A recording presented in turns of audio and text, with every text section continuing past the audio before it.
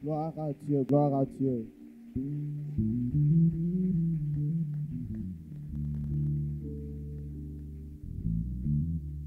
Alléluia. Ferme un instant tes yeux. Juste le son du piano.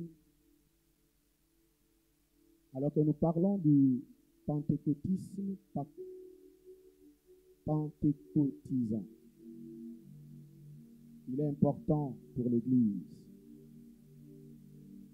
de comprendre que l'Esprit de Dieu est un esprit d'ordre. Même dans le service, on peut attrister l'Esprit. Dans notre façon de faire.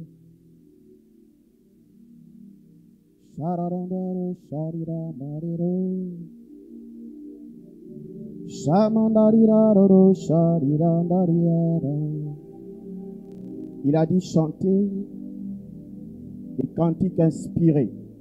Lorsqu'on parle de l'inspiration, on parle de la prophétie.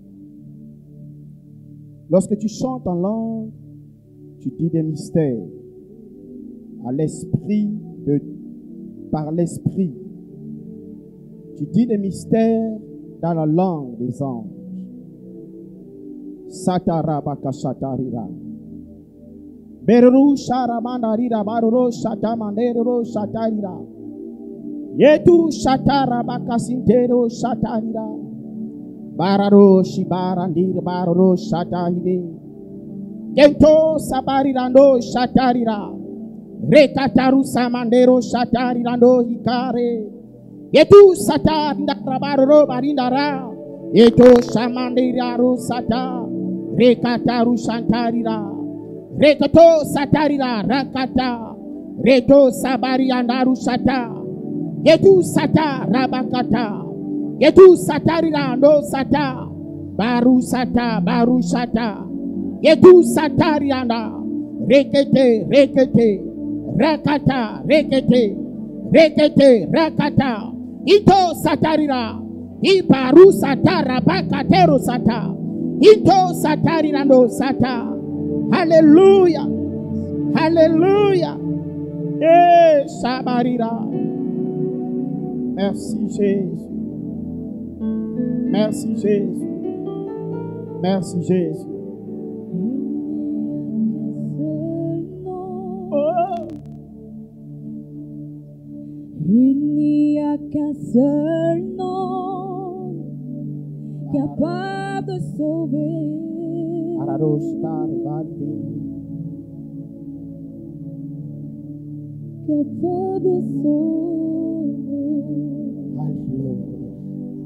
Ressentez la présence douce du Saint-Esprit.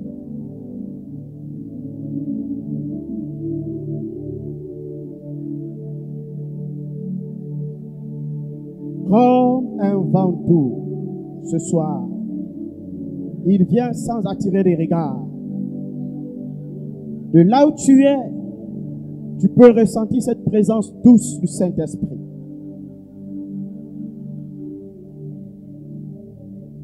Merci Seigneur.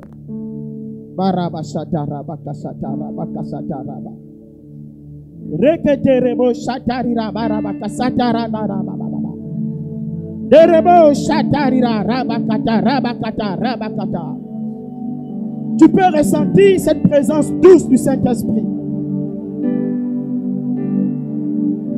Il est descendu dans le Jourdain, dans ces eaux tièdes, ces eaux remplies de souillure. L'Esprit est allé trouver Jésus dans les eaux du Jourdain, dans cette atmosphère tiède.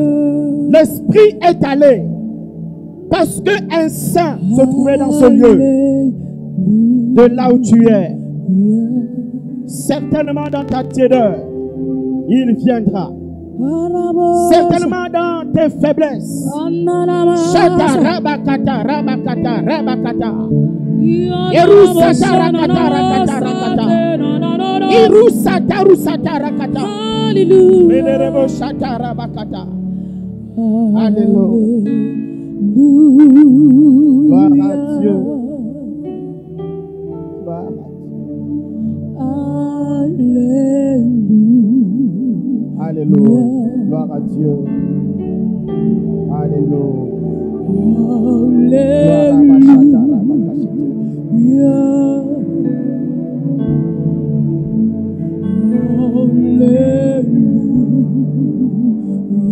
Alléluia. Gloire à Dieu.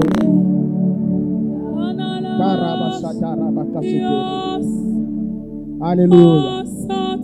Merci Seigneur. Merci Jésus. Je voudrais, alors que nous sommes debout, lire euh, ce verset. Alors il commença à leur dire aujourd'hui, cette parole de l'Écriture que vous venez d'entendre est accomplie.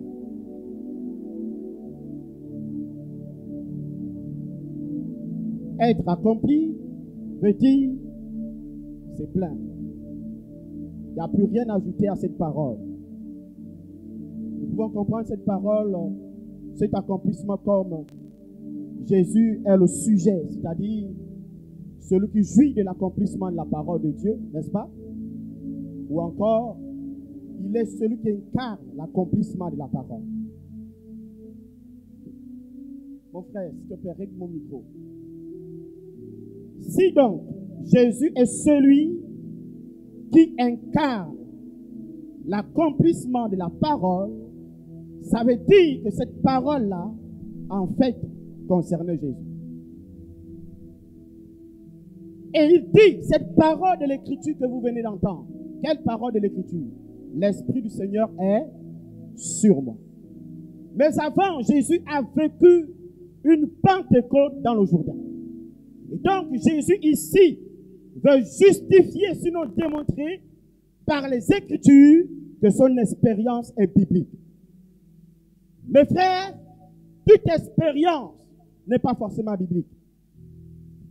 Et Jésus dit que la parole d'Esaïe, la parole du prophète, à mon sujet, vient de s'accomplir. Il est en train de dire en ce moment que je suis le plein de la prophétie d'Esaïe. Je suis le plein de la prophétie d'Esaïe. Ça veut dire que quiconque me rencontre jouit de l'accomplissement de l'écriture. Est-ce que quelqu'un comprend ce que je dis ce soir?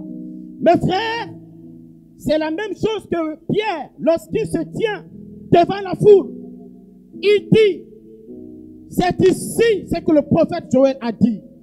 Dans les derniers temps, je répandrai de mon esprit. En d'autres termes, il dit que la prophétie s'est accomplie. Oh bien-aimés, nous vivons les temps pleins de l'écriture. J'ai dit, nous vivons les temps pleins de l'écriture. Il y a longtemps que l'écriture s'est accomplie. Il y a longtemps que le fruit de la parole est mûr. Il revient à toi de manger ce fruit. Et Jésus, écoutez, Jésus dit, cette parole de l'écriture s'est accomplie. Suivez la lecture, le, le- euh, le verset suivant, il dit, Jésus leur dit, sans doute, vous m'appliquerez ce proverbe, médecin, guéris-toi toi-même. Et vous me direz, fais ici dans ta patrie tout ce que nous avons appris que tu as fait à Capernaum. Mais, ajouta-t-il, je vous le dis en vérité, aucun prophète n'est bien reçu dans sa patrie. Aucun prophète.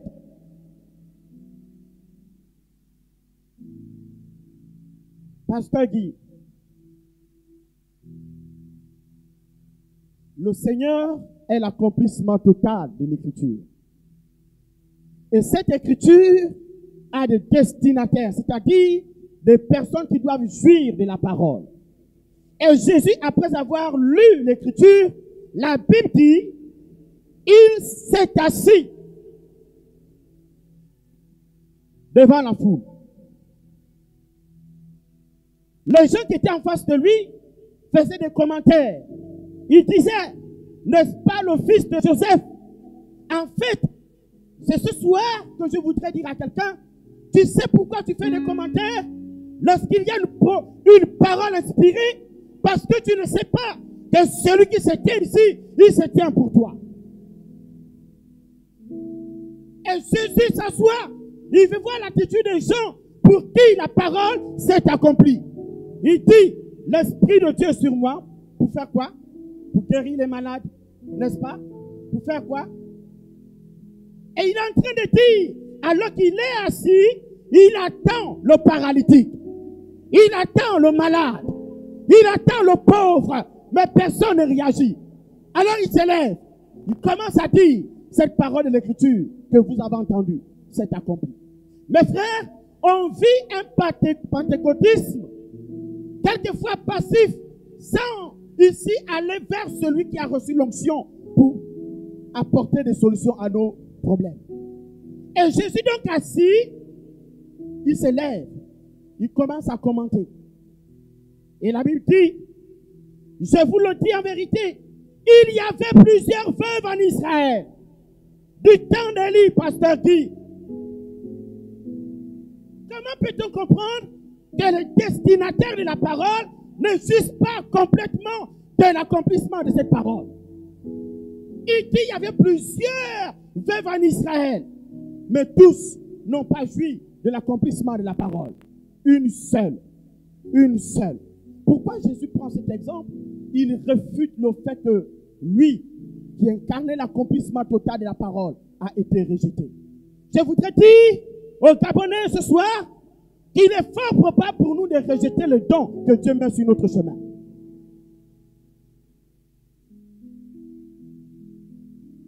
Il dit il y avait plusieurs veuves. Écoutez, la Pentecôte, c'est aussi la qualité, aussi la quantité.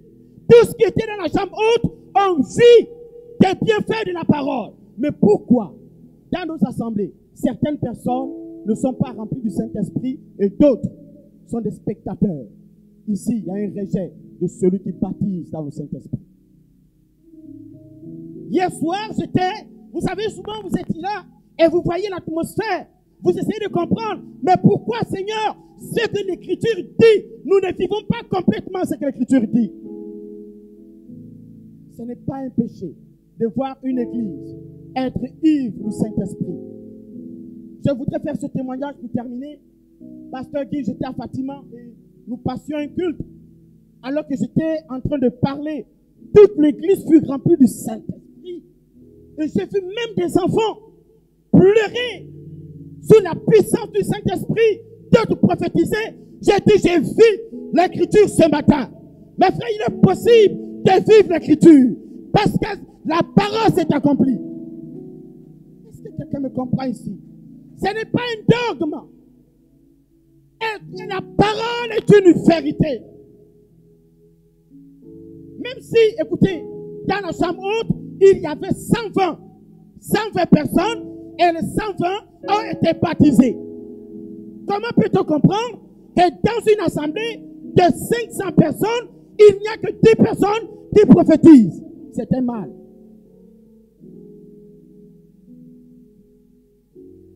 Et Jésus dit, lorsque le ciel fut fermé, trois ans et six mois, et qu'il y eut une grande famine sur toute la terre. Cependant, Élie ne fut envoyé vers aucune d'elles, si ce n'est vers une femme veuve à Sarepta, dans le pays de Sidon. Il y a aussi, il y avait aussi plusieurs lépreux en Israël du temps d'Élysée, le prophète. Cependant, aucun d'eux ne fut purifié, si ce n'est Naaman le Syrien. Où étaient les destinataires de cette parole?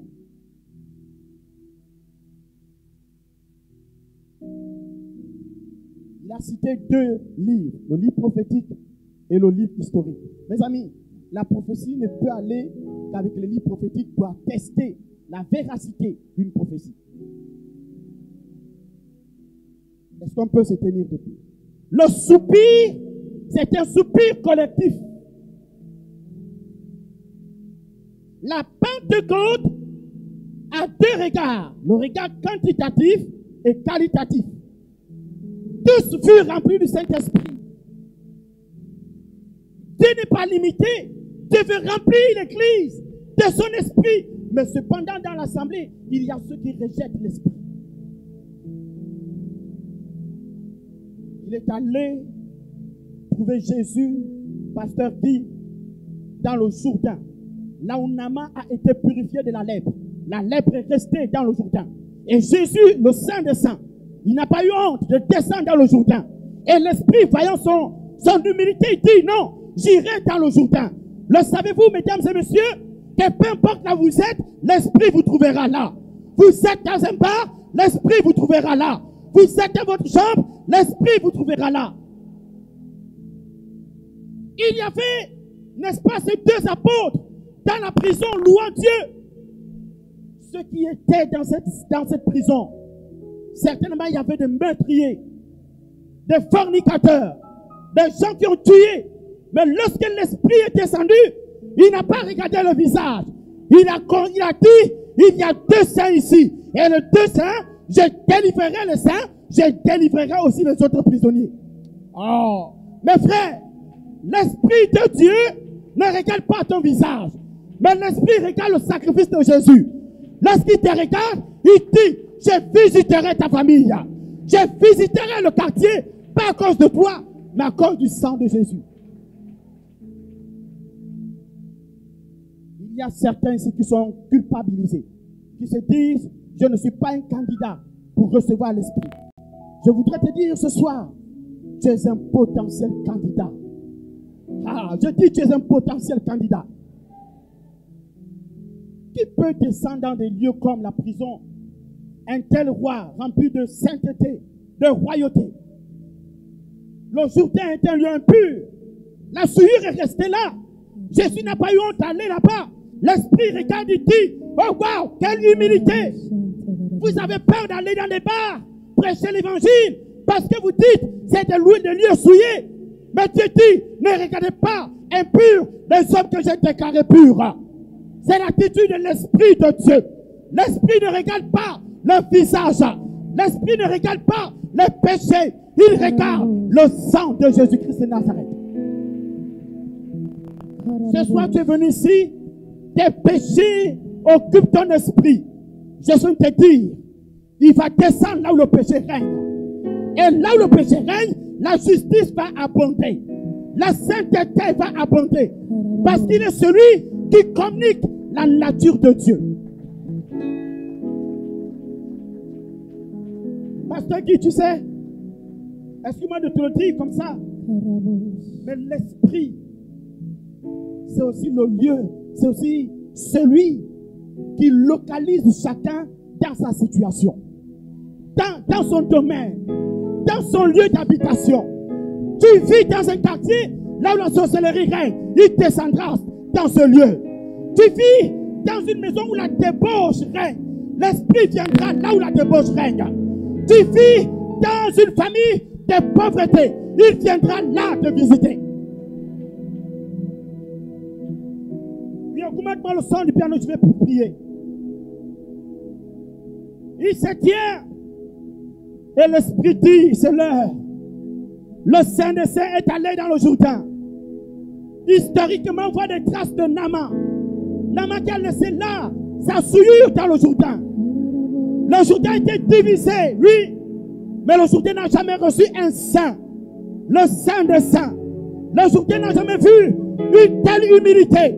Le roi des rois descendre dans la souillure des hommes. Il est allé s'identifier. Il est allé s'identifier. Il a regardé le peuple d'Israël. Il a dit, je n'ai pas honte de tes péchés. Je n'ai pas honte de m'identifier à toi. Et quand l'Esprit a vu, a vu ça, il dit, waouh, waouh, waouh, le lieu ne me fait pas peur.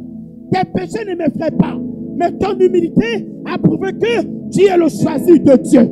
Que tu as l'appel de Dieu. Que tu as la foi pour vivre les choses de Dieu. C'est alors, pasteur Guy, la Bible dit, une colombe est, est allée se poser sur son épaule. Quelle image C'est choquant de savoir que le Saint des Saints descend dans la bassesse, visiter un homme dans sa souillure, dans, son péché. Dieu va se rabaisser pour dire aujourd'hui, c'est le rendez-vous que j'avais avec toi. C'est le rendez-vous que j'avais avec toi. Peu Peu importe là où tu es. Dans la prostitution, je viendrai te trouver là. Dans l'alcoolisme, je viendrai te trouver là. Oh, Alléluia. Et quand l'Esprit est allé dans le Jourdain, il regarde Jésus. Jésus, quand il sort des eaux, il dit maintenant c'est l'heure. N'avez-vous pas entendu? Plusieurs expériences des hommes qui ont été baptisés du Saint-Esprit dans des lieux insalubres, dans des lieux indésirables, dans des lieux où personne ne pouvait aller, mais lui, il a eu le courage. Bethany, écoute, ma- écoute la parole du Dieu vivant. Tu n'es pas un juge pour les pécheurs, mais tu es celui qui transmet l'onction. Tu es celui qui transmet l'esprit. Les pécheurs nous attendent dans des carrefours. Parce que là-bas, l'esprit descendra. Les, les pécheurs nous attendent. Oui, mes frères, dans les mosquées. Parce que là-bas, l'esprit descendra. Dites-moi quel est le lieu le plus terrible comme la prison. La pédophilie. Dans ces lieux, les hommes pleurent. Ils gémissent. Nous sommes dans nos temples. Nous crions Pentecôte. Mais l'Esprit regarde. Il dit, ce lieu, il est pur. Mais je me tourne vers le lieu où ils peuvent pas aller. Mais là-bas, je trouverai un Jean-Baptiste. Je trouverai un Paul. Un Silas. Louant mon nom. Je vais visiter les prisonniers. Et quand je les visiterai, Bethany, Bethany sera surpris d'entendre qu'il y a un mouvement à la prison. C'est ce que l'Esprit fait. C'est ce que l'Esprit fait.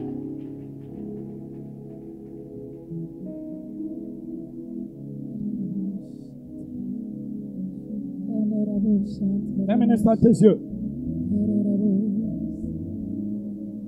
Il leur a dit, cette parole est pleine. Tu peux jouir. Comme le texte sur le pasteur qui, a lu. Il se tient debout, il dit que celui qui a soif vienne. Mes frères, ne doutez pas un seul instant que dans ta culpabilité, il viendra. Je vois des cœurs qui sont comme lourds, des gens qui pleurent, des gens qui disent Je suis un pécheur, je ne peux pas recevoir l'esprit. Mais je suis te dire que tu es un candidat, tu es un potentiel candidat. Il est allé visiter Corneille. Il a dit à Pierre Ne regarde pas impur, c'est que j'ai déclaré pur. Parce que l'esprit est allé visiter Corneille et sa famille.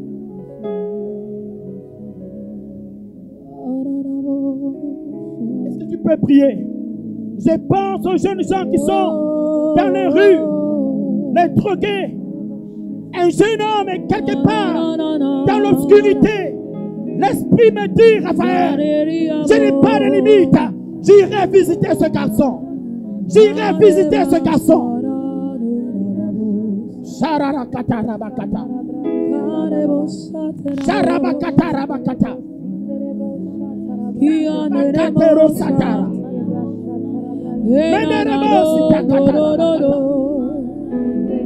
Aïe, aïe, aïe, aïe, aïe. Je vois le cœur dégagé. Je vois le cœur dégagé ce soir. Le péché a alourdi ton cœur. Le péché a alourdi ton cœur. Mais l'esprit te dégage. L'esprit te dégage. L'esprit te dégage. Il te libère. Il te libère de la culpabilité.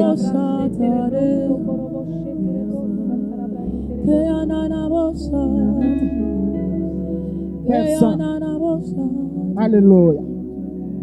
Je veux que nous fassions silence alors que l'homme de Dieu rentre dans ce son doux. J'ai vu l'esprit venir comme une colombe, une telle douceur. Il m'a dit, c'est ainsi que je vais visiter mon peuple. Sharabakasatara. Sharabakasatara. Merci Seigneur.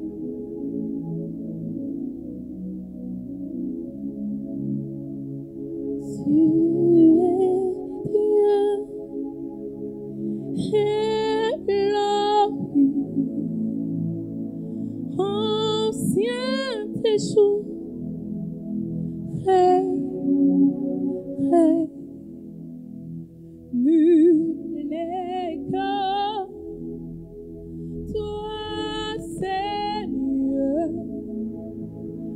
ancien des choses.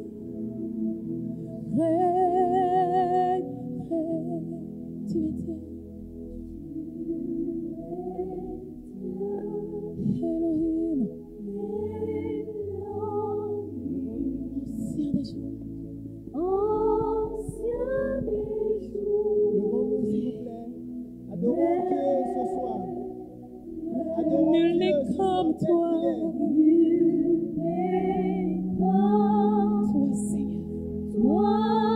Seigneur, ancien des jours.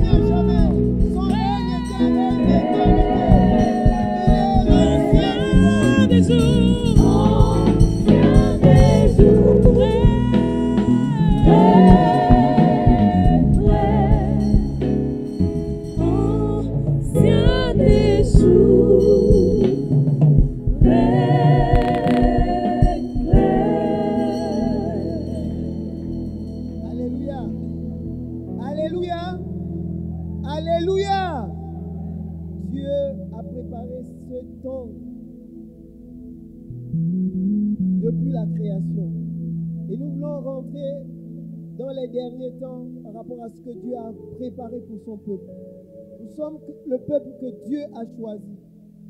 Et nous voulons avoir le feu pour pouvoir embraser les nations.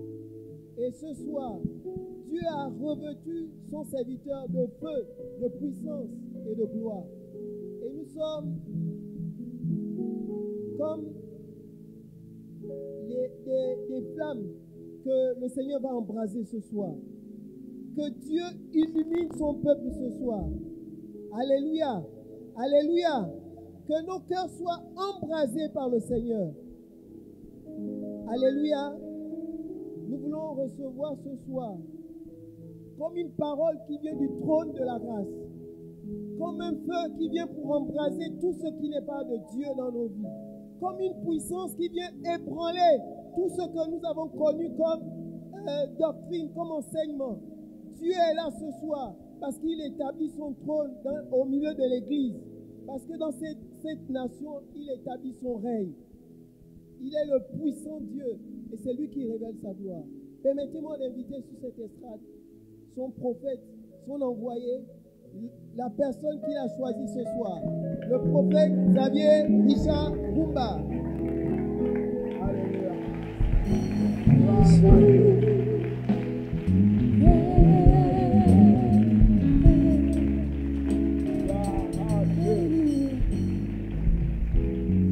Amen, amen, amen, amen, amen. Je voudrais ce, matin, ce soir, encore une fois plus, ensemble. Alors j'apprécie euh, la- l'arrivée ici de notre secrétaire euh, général chorale nationale. Euh, je voudrais qu'on acclame le pasteur Jean-Marie Okomba. Merci. Gloire à Dieu. Nous bénissons le Seigneur. Alléluia. J'ai la ferme conviction que le Seigneur qui a commencé à nous bénir depuis le premier jour va encore vraiment nous visiter ce soir. Alléluia.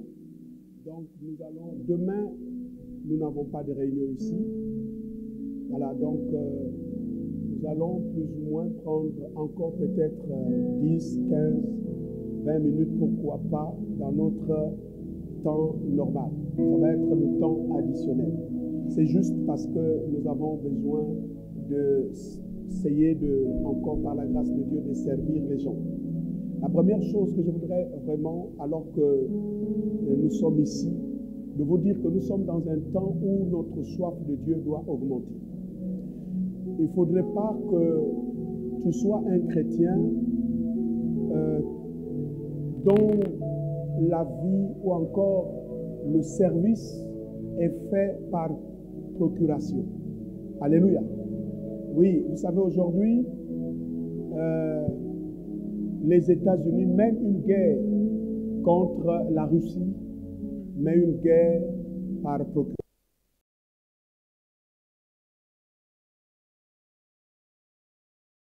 Mais ils sont en guerre.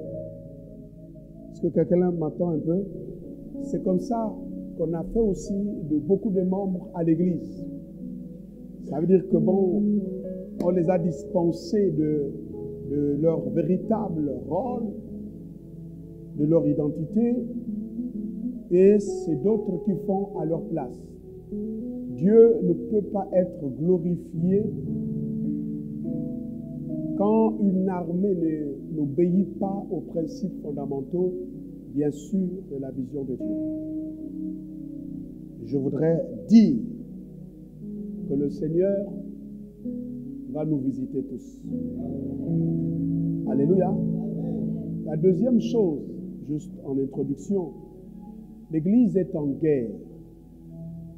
Nous sommes dans les temps véritables de la fin, annoncé par Pierre, prophétisé par Joël. Et là, de plus en plus, on va vers la fin de toutes choses. S'il vous plaît, augmentez votre amour pour le Seigneur.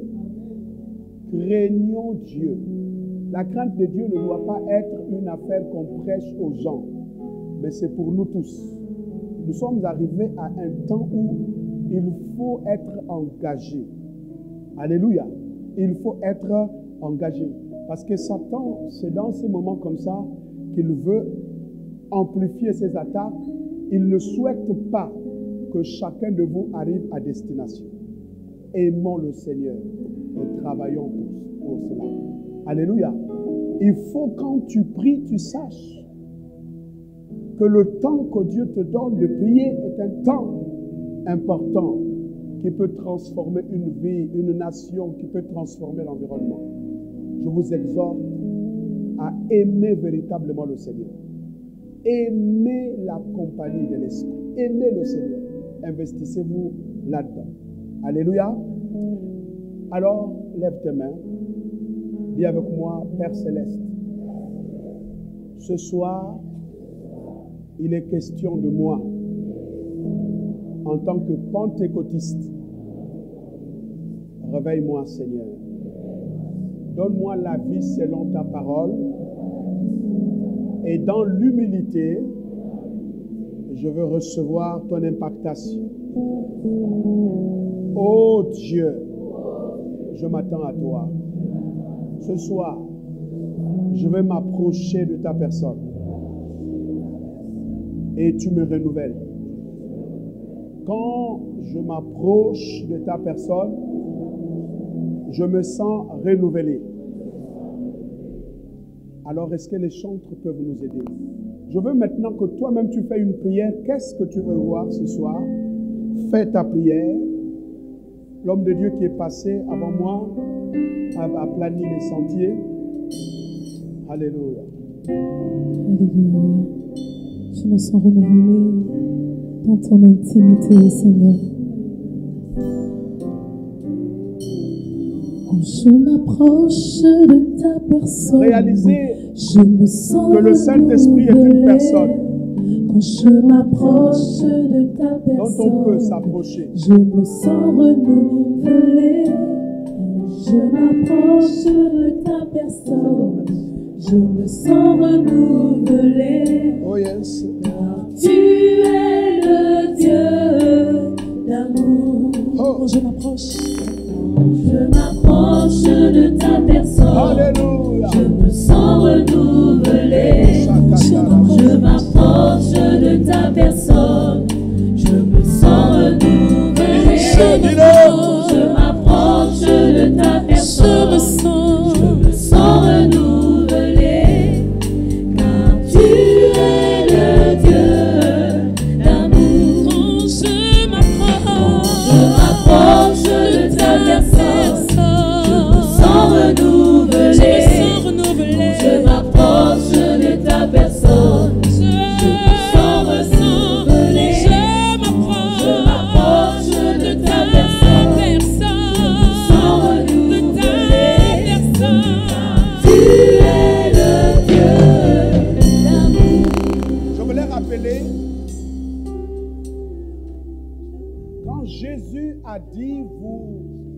resterez à Jérusalem, eh bien, vous recevrez ce que le Père avait promis.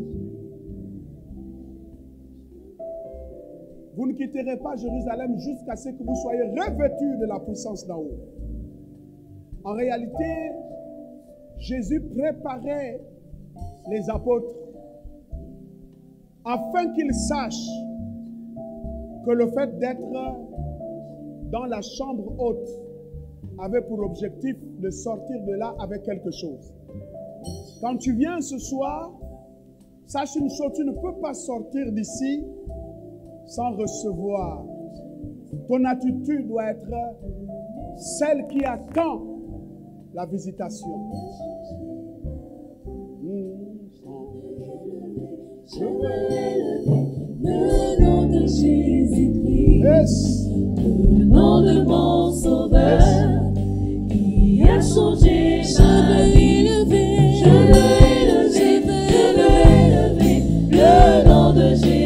ensemble.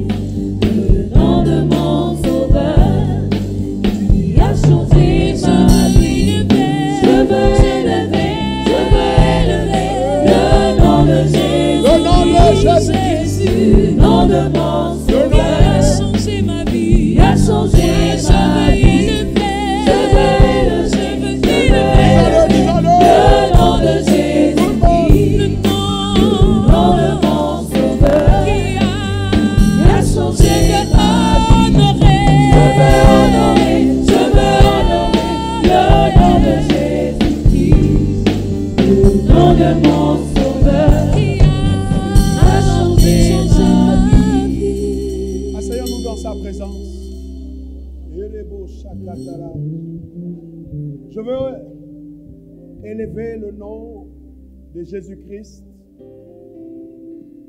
le nom de notre Sauveur qui a changé ma vie. Ressentez cette présence et sentez-vous totalement immergé par cette présence. Parce que le but euh, de Dieu ce soir, c'est vous aider, nous aider tous à cette communion avec l'Esprit de Dieu. Servir Dieu, c'est quelque chose de merveilleux. Alléluia. Regarde-moi un instant. N'aie pas peur. Le Seigneur est au contraire. Et je me tiens ici parce que tu vas devoir recevoir la grâce te visite profondément afin que tes larmes soient complètement essuyées et que tout projet que tu as abandonné soit restauré et que l'espoir renaisse. En fait, tu célèbres Dieu. Yes.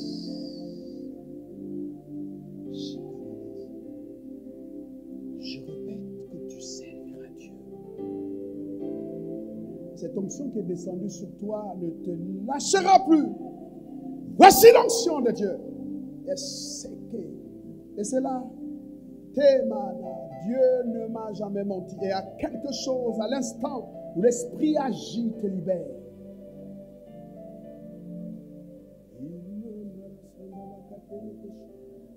Alors, je sens que l'onction de Dieu, l'Esprit de Dieu est ici.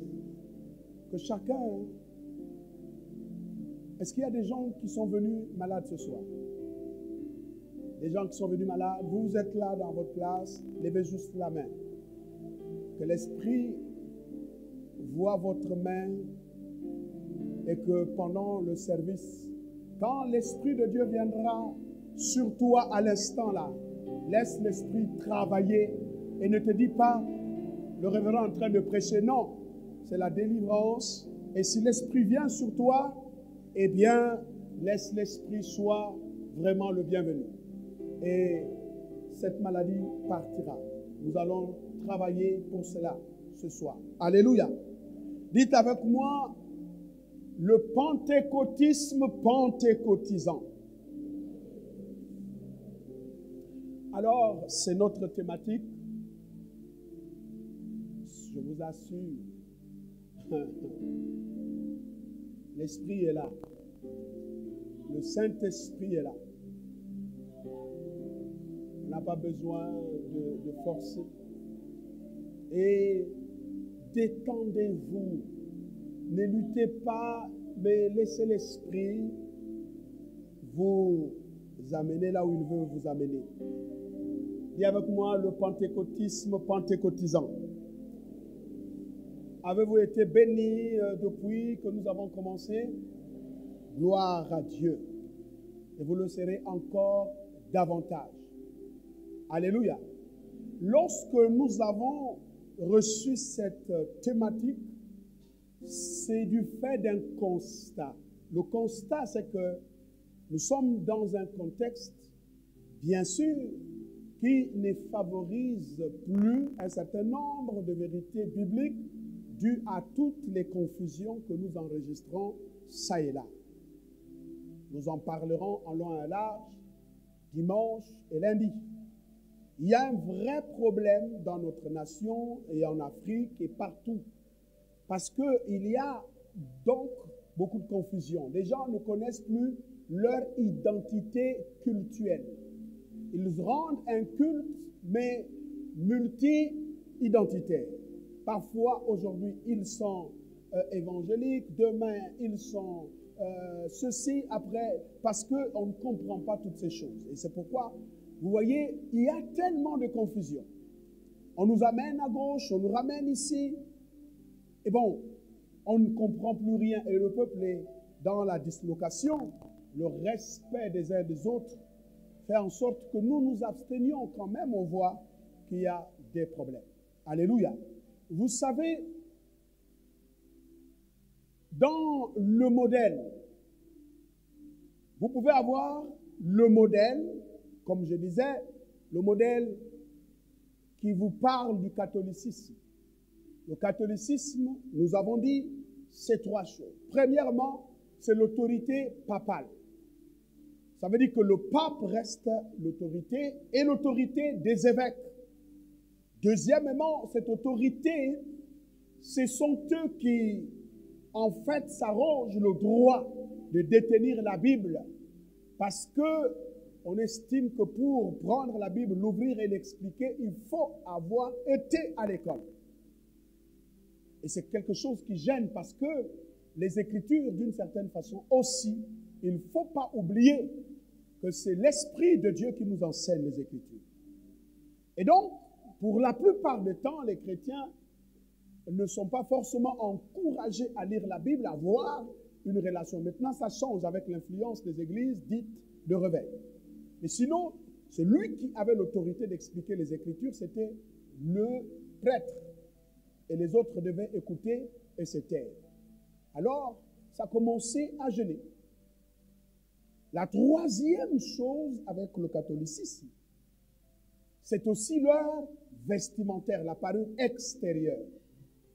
Donc vous comprenez que le catholicisme, pour la plupart des temps, on exerce le ministère avec un certain accoutrement. Mais ça fait un rebond, ainsi de suite. Alors ça, c'est le catholicisme avec, euh, bien sûr, l'acceptation de certaines réalités liées à leur doctrine. Et on y ajoute, quand il s'agit du catholicisme romain, on y ajoute la place de la Vierge Marie, la place des saints et des anges. Donc ça, c'est le catholicisme. Et vous avez donc des pères réformateurs, en l'occurrence Luther et les autres qui, se sont levés pour dire, eh bien, bon, les protestants, pour dire, nous ne sommes plus d'accord avec cette façon de faire, ce qui doit gouverner, bien sûr, aux destinées de l'Église et des chrétiens, d'abord la place de l'Esprit, et d'abord, pour que l'Esprit soit là, il faut que les Écritures soient restaurées. Donc, ils vont utiliser cette expression, les Écritures seules. L'Écriture seule. Donc, l'autorité à l'Église, l'autorité première, ce sont les Écritures. Ça veut dire quoi? Ça veut dire que si on fait des choses qui ne sont pas cadrées, qui ne sont pas euh, liées aux Écritures, nous avons le droit de dire non. Parce que l'Écriture est la seule autorité. Et en plus, la foi seule. Ce qui définit le croyant, c'est d'abord sa foi. Et donc, ils vont parler de l'Écriture seule et de la foi seule. On les appelle les protestants parce qu'ils ont protesté. Ce que je contre les protestants aujourd'hui, c'est que c'est l'esprit syndicaliste. L'esprit syndicaliste, c'est que, bon, ils protestent. Or, le problème, c'est que vous avez protesté quelque chose, eh bien, il faut maintenant vivre un modèle qui soit totalement opposé à ce que vous avez protesté. Parce que même nous tous, nous sommes des protestants. Est-ce que vous comprenez un peu? Protester ce qui n'était pas biblique pour remplacer par ce qui doit être biblique. Pas dire ça, ce n'est pas biblique. Ici, ce n'est pas biblique. Et entre-temps, toi-même, tu n'es pas biblique. Donc, les premiers protestants ont protesté pour vivre l'authenticité des Écritures et de la foi. Et après les protestants, il y a donc un autre mouvement, c'est le mouvement évangéliste, en fait l'évangélisme, le mouvement évangéliste. Donc dans ce mouvement-là, l'accent a été placé sur le fait de la nouvelle naissance. Donc la croix, il fallait absolument une prédication de la croix. On est chrétien quand on est né de nouveau. On est chrétien quand on a, on s'est repenti de ses péchés et on a accepté Jésus-Christ comme Seigneur et Sauveur personnel. Alors, donc, là, il y a un accent particulier. Et puis, dans le mouvement évangélique, vous avez plusieurs familles, vous avez les baptistes, vous avez le ceci, je ne rentre pas là-dessus. Et donc, la nouvelle naissance va être quelque chose de non négociable. Et dans ce mouvement, nous avons aussi un autre mouvement qui était important du temps du réveil des années 700. Et plus avec euh, les, frères Wesley et d'autres. Eux, ils ont apporté ce qu'on appelle les méthodistes. Ils ont compris que même quand on, on faisait l'appel et quelqu'un s'approchait pour accepter Jésus-Christ comme Seigneur et Sauveur personnel, quelquefois, ce n'était pas une conviction née par l'Esprit.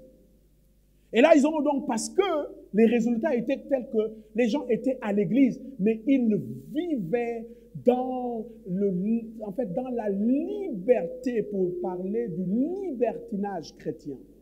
C'était des antinomiens. Ça veut dire qu'ils étaient des gens qui ne sont, dont la foi et la vie chrétienne n'étaient pas forcément soumises à la loi de l'Église. Aucune loi ne pouvait vraiment les amener. Donc, ils n'avaient pas la vie. Ils vivaient. Vous savez, vous pouvez être un vrai antinomien. Je ne veux pas aussi que vous soyez les nomistes euh, selon la perspective mosaïque. Ça veut dire que des gens qui vivent la loi de Moïse, c'est pas ce que je veux dire. Mais des gens aussi qui se disent la grâce, euh, nous sommes sauvés par la grâce et maintenant vivons comme on veut. Et il y a plusieurs dans des églises qui, dont la loi même de la foi ne, ne- ne- s'impose pas. Et vous vivez une vie comme ça, ça démontre qu'il n'y a pas la réalité de la nouvelle naissance. Et donc, les, les Wesley, ce qu'on appelle le mouvement de la sanctification, des puritains qui vont venir pour dire non, quand même, la vie chrétienne, il doit avoir des, des manifestations de la, de la euh, comment dirais-je, les fruits de l'esprit, ainsi de suite. On doit voir la transformation.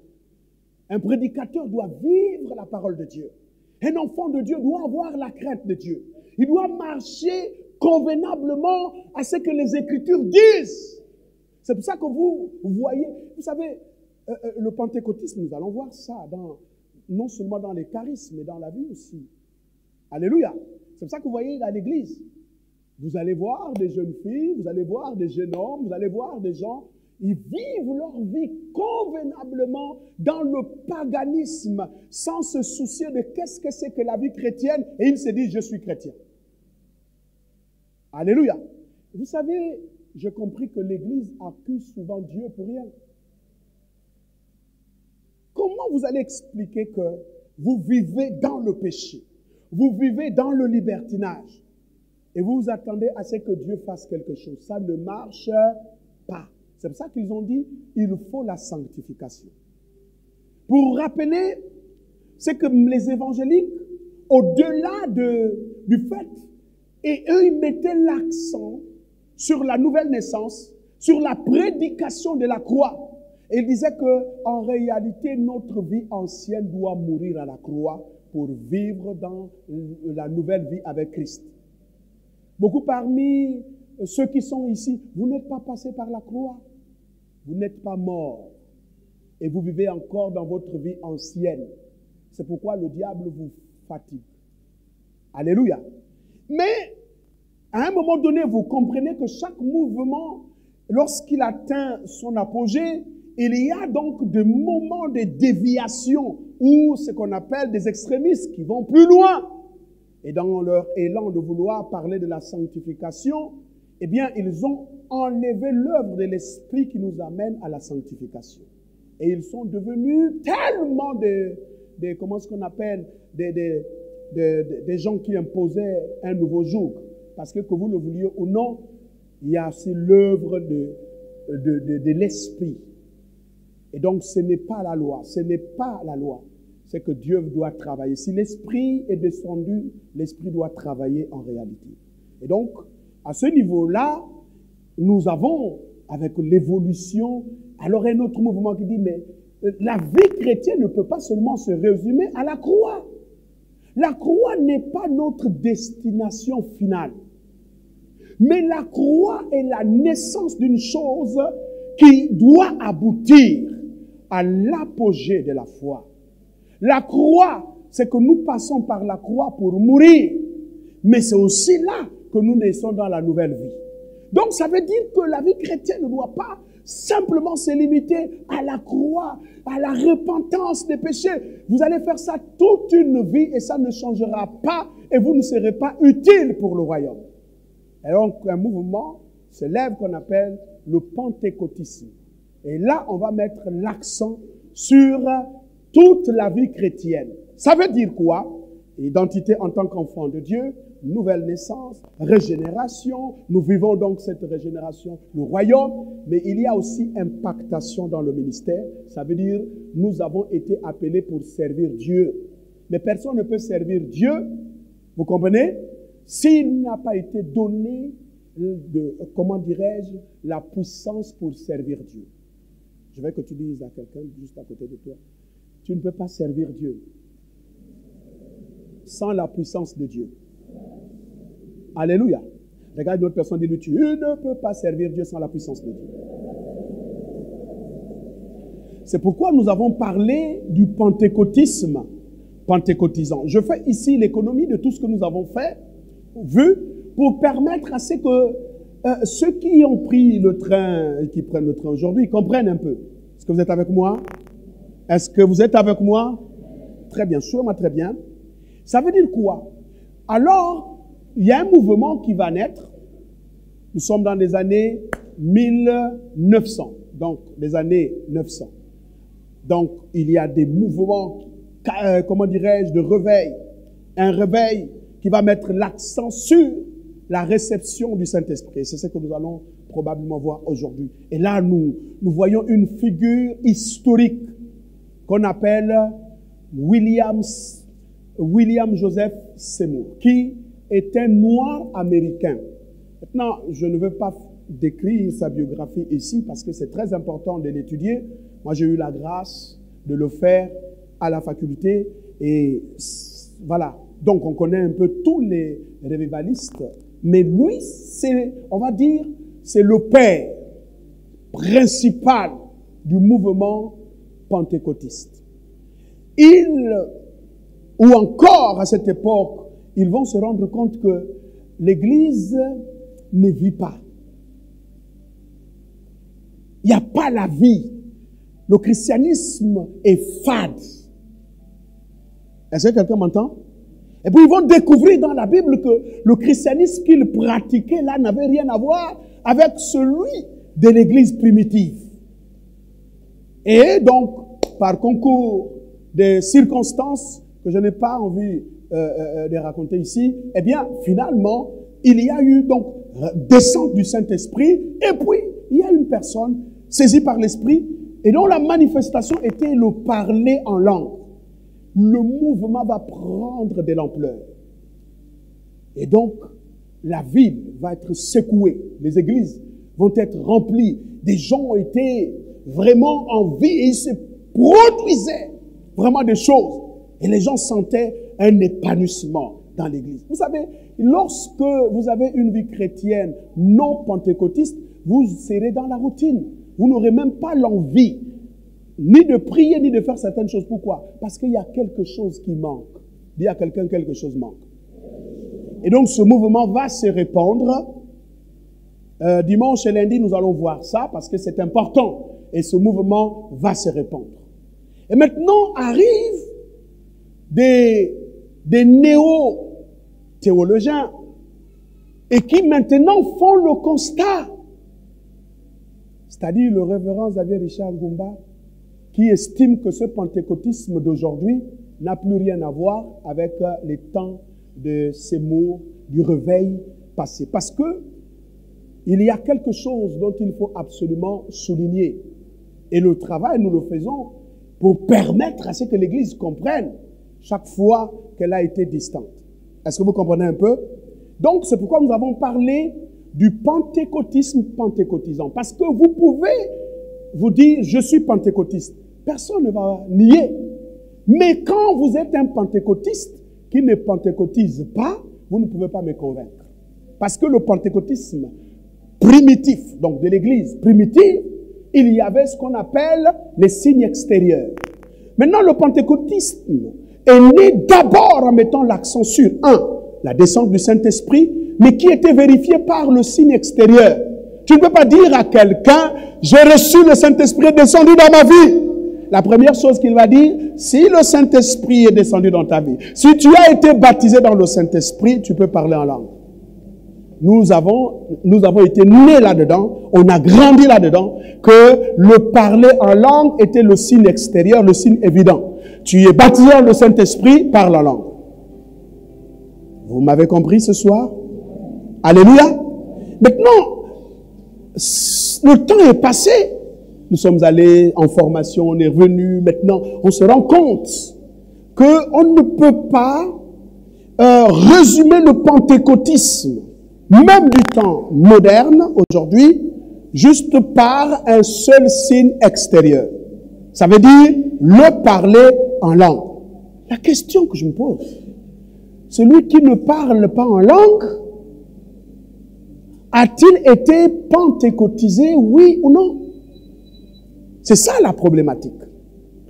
Est-ce que le pentecôtisme doit aujourd'hui être, le pentecôtisme traditionnel dont le signe extérieur est le parler en... On ne peut pas répondre à cette question si nous n'examinons pas ensemble les Écritures. Le modèle par excellence, un, c'est Jésus. Deux, ce sont les apôtres. Trois, ce sont les disciples qui ont reçu par les apôtres la responsabilité de poursuivre. Donc, à partir d'eux, nous pouvons poser non seulement la problématique du pentecôtisme résumé par un seul signe extérieur, c'est-à-dire le parler en langue, mais que nous pouvons voir si c'est cela le pentecôtisme tel que la Bible veut que nous puissions comprendre. La deuxième chose, nous avons dit, écoutez-moi très bien, alléluia, et ça c'est ce qui introduit notre, euh, euh, comment dirais-je, réunion de ce soir, qui pose ici en fait une deuxième problématique. C'est la problématique du constat de l'Église actuelle. Est-ce que quelqu'un comprend avec moi? Ne vous inquiétez pas. Un Thessaloniciens chapitre 5, verset 19. Un Thessaloniciens chapitre 5, verset 19. Bethany, vous devrez aimer être enseigné. Ce que vous allez voir tout à l'heure est juste la preuve que le Saint-Esprit veut nous amener quelque part. Alléluia. 1 Thessaloniciens chapitre 5 et nous lisons le verset 19. Le verset 19. Alléluia. Voici ce que la Bible déclare. Disons ensemble, n'éteignez pas, c'est le problème de l'Église. Oh, oh, oh, oh, oh, oh, suivez-moi un instant. La Bible dit quoi? Non, je ne vous ai pas bien entendu. Il est important de savoir que c'est un impératif. Quand la Bible dit n'éteignez pas l'esprit, c'est que l'esprit était là. Est-ce que vous comprenez un peu? Ça veut dire qu'on peut éteindre l'esprit dans l'église. On peut éteindre l'esprit dans ta vie. On peut éteindre l'esprit au moment où il commence. Est-ce que vous comprenez un peu? Vous savez, parfois, vous savez, bon, bon, qu'est-ce qu'on dit On va dire quoi? Ben, vous savez, normalement, si vous voulez, euh, euh, euh, comment dirais-je, un réveil, vous devrez insister. C'est pas des réunions, on vient là et puis on commence à regarder la montre. Non, non, non. Je vous parlerai de cela lundi. Vous pouvez comprendre comment les réveils sont nés par le fait d'insister. Alléluia. Il faut insister. Mais comme vous ne trouvez pas l'importance de toutes ces choses-là, votre échec est d'abord dû au fait que vous n'avez pas compris pourquoi Dieu nous a donné le Saint-Esprit. Parce que même quand on vous enseigne, je ne suis pas sûr que vous comprenez le sens et l'importance même de l'envoi de l'Esprit. Aucune église, aucun christianisme n'aura d'impact là où l'Esprit n'y est pas. Est-ce que vous me suivez? Ça veut dire quoi? Ça veut dire qu'il y a beaucoup de choses qui sont arrivées pour éteindre l'esprit. Lorsque le réveil des années 80 a commencé, il a commencé avec une telle puissance. Les églises naissaient sans qu'on envoie les missionnaires. Pourquoi? Parce que l'esprit était à l'œuvre. Pourquoi cette avance s'est arrêtée? On a éteint l'esprit. Vous savez, quand vous importez dans l'Église des méthodes, des systèmes, des enseignements qui ne favorisent pas l'action de l'esprit, eh bien, l'esprit sera bel et bien éteint. Est-ce que vous comprenez un peu? Je vous assure, l'esprit, c'est le patron de l'Église. C'est même l'esprit qui conduit. Mais vous ne pouvez pas diriger l'Église avec un management humain et mondain. Même si c'est bien, c'est bien pour ceux du monde. Mais l'Église a son management. L'Église a son leadership. L'Église, c'est le Saint-Esprit. Alléluia. Parce que les choses des années 80 étaient bouleversantes. Tous les domaines de la vie du pays étaient touchés par la puissance de l'Esprit. Alléluia. Mais pourquoi est-ce que ça n'a pas poursuivi? Eh bien, nous allons voir ça. Il dit, n'éteignez pas l'esprit. Il y a des choses qui commencent. Il y a des gens qui commencent la prophétie, quelquefois peut-être en bougeant la tête. Ne pensez pas que tout ce qui bouge dans l'église, c'est des démons. Et même si c'est des démons, pourquoi Dieu chasse d'abord les démons? Parce qu'il ne faut pas mettre du vin nouveau dans les vieilles outres. Est-ce que vous comprenez un peu? Il y a des gens, ta prophétie, le domaine prophétique a commencé dans les songes, mais aussi c'est le domaine de l'esprit. Mais tu ne vois plus des songes. Tu ne songes plus. Tu ne prophétises plus. Quand tu pries, il y a des choses que tu ne ressens plus. L'esprit est éteint. La Bible dit, n'éteignez pas l'esprit. Alors je veux que tu dises avec force à cinq personnes, n'éteins pas l'esprit. Je n'ai pas dit que tu restes assis. Lève-toi et va dire.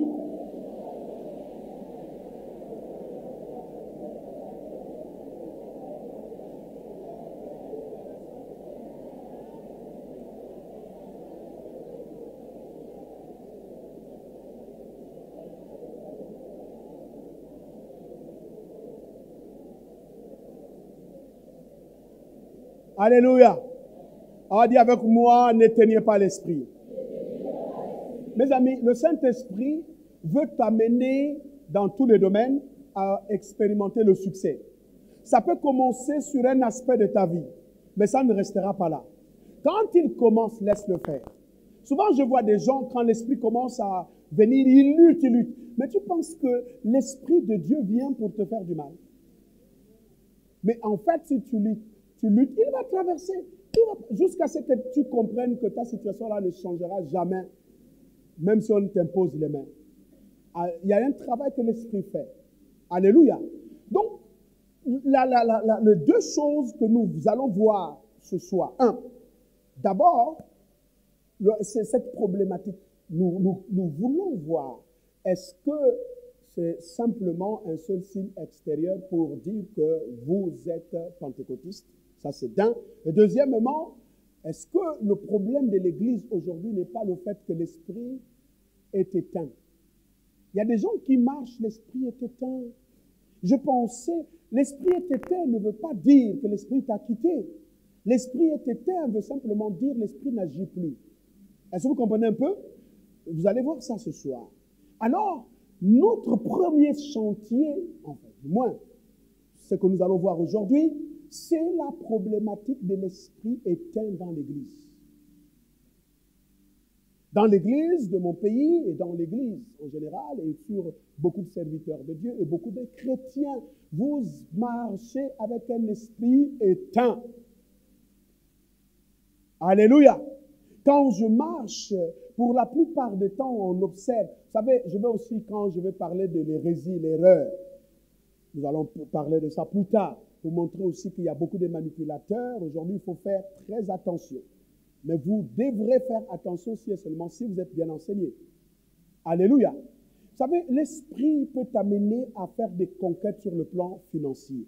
L'esprit peut t'amener à réussir sur des domaines.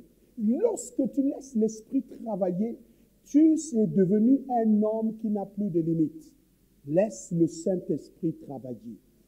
Dis à quelqu'un, laisse le Saint-Esprit travailler et ne l'éteins pas. Le problème que nous voulons régler d'un pentecôtisme, vous savez, aujourd'hui, quand tu vois quelqu'un, bon, il parle la langue, il parle la langue, mais quand tu regardes les autres domaines de la vie, il y a quand même lieu de se poser la question, qu'est-ce qui se passe dans la vie de quelqu'un?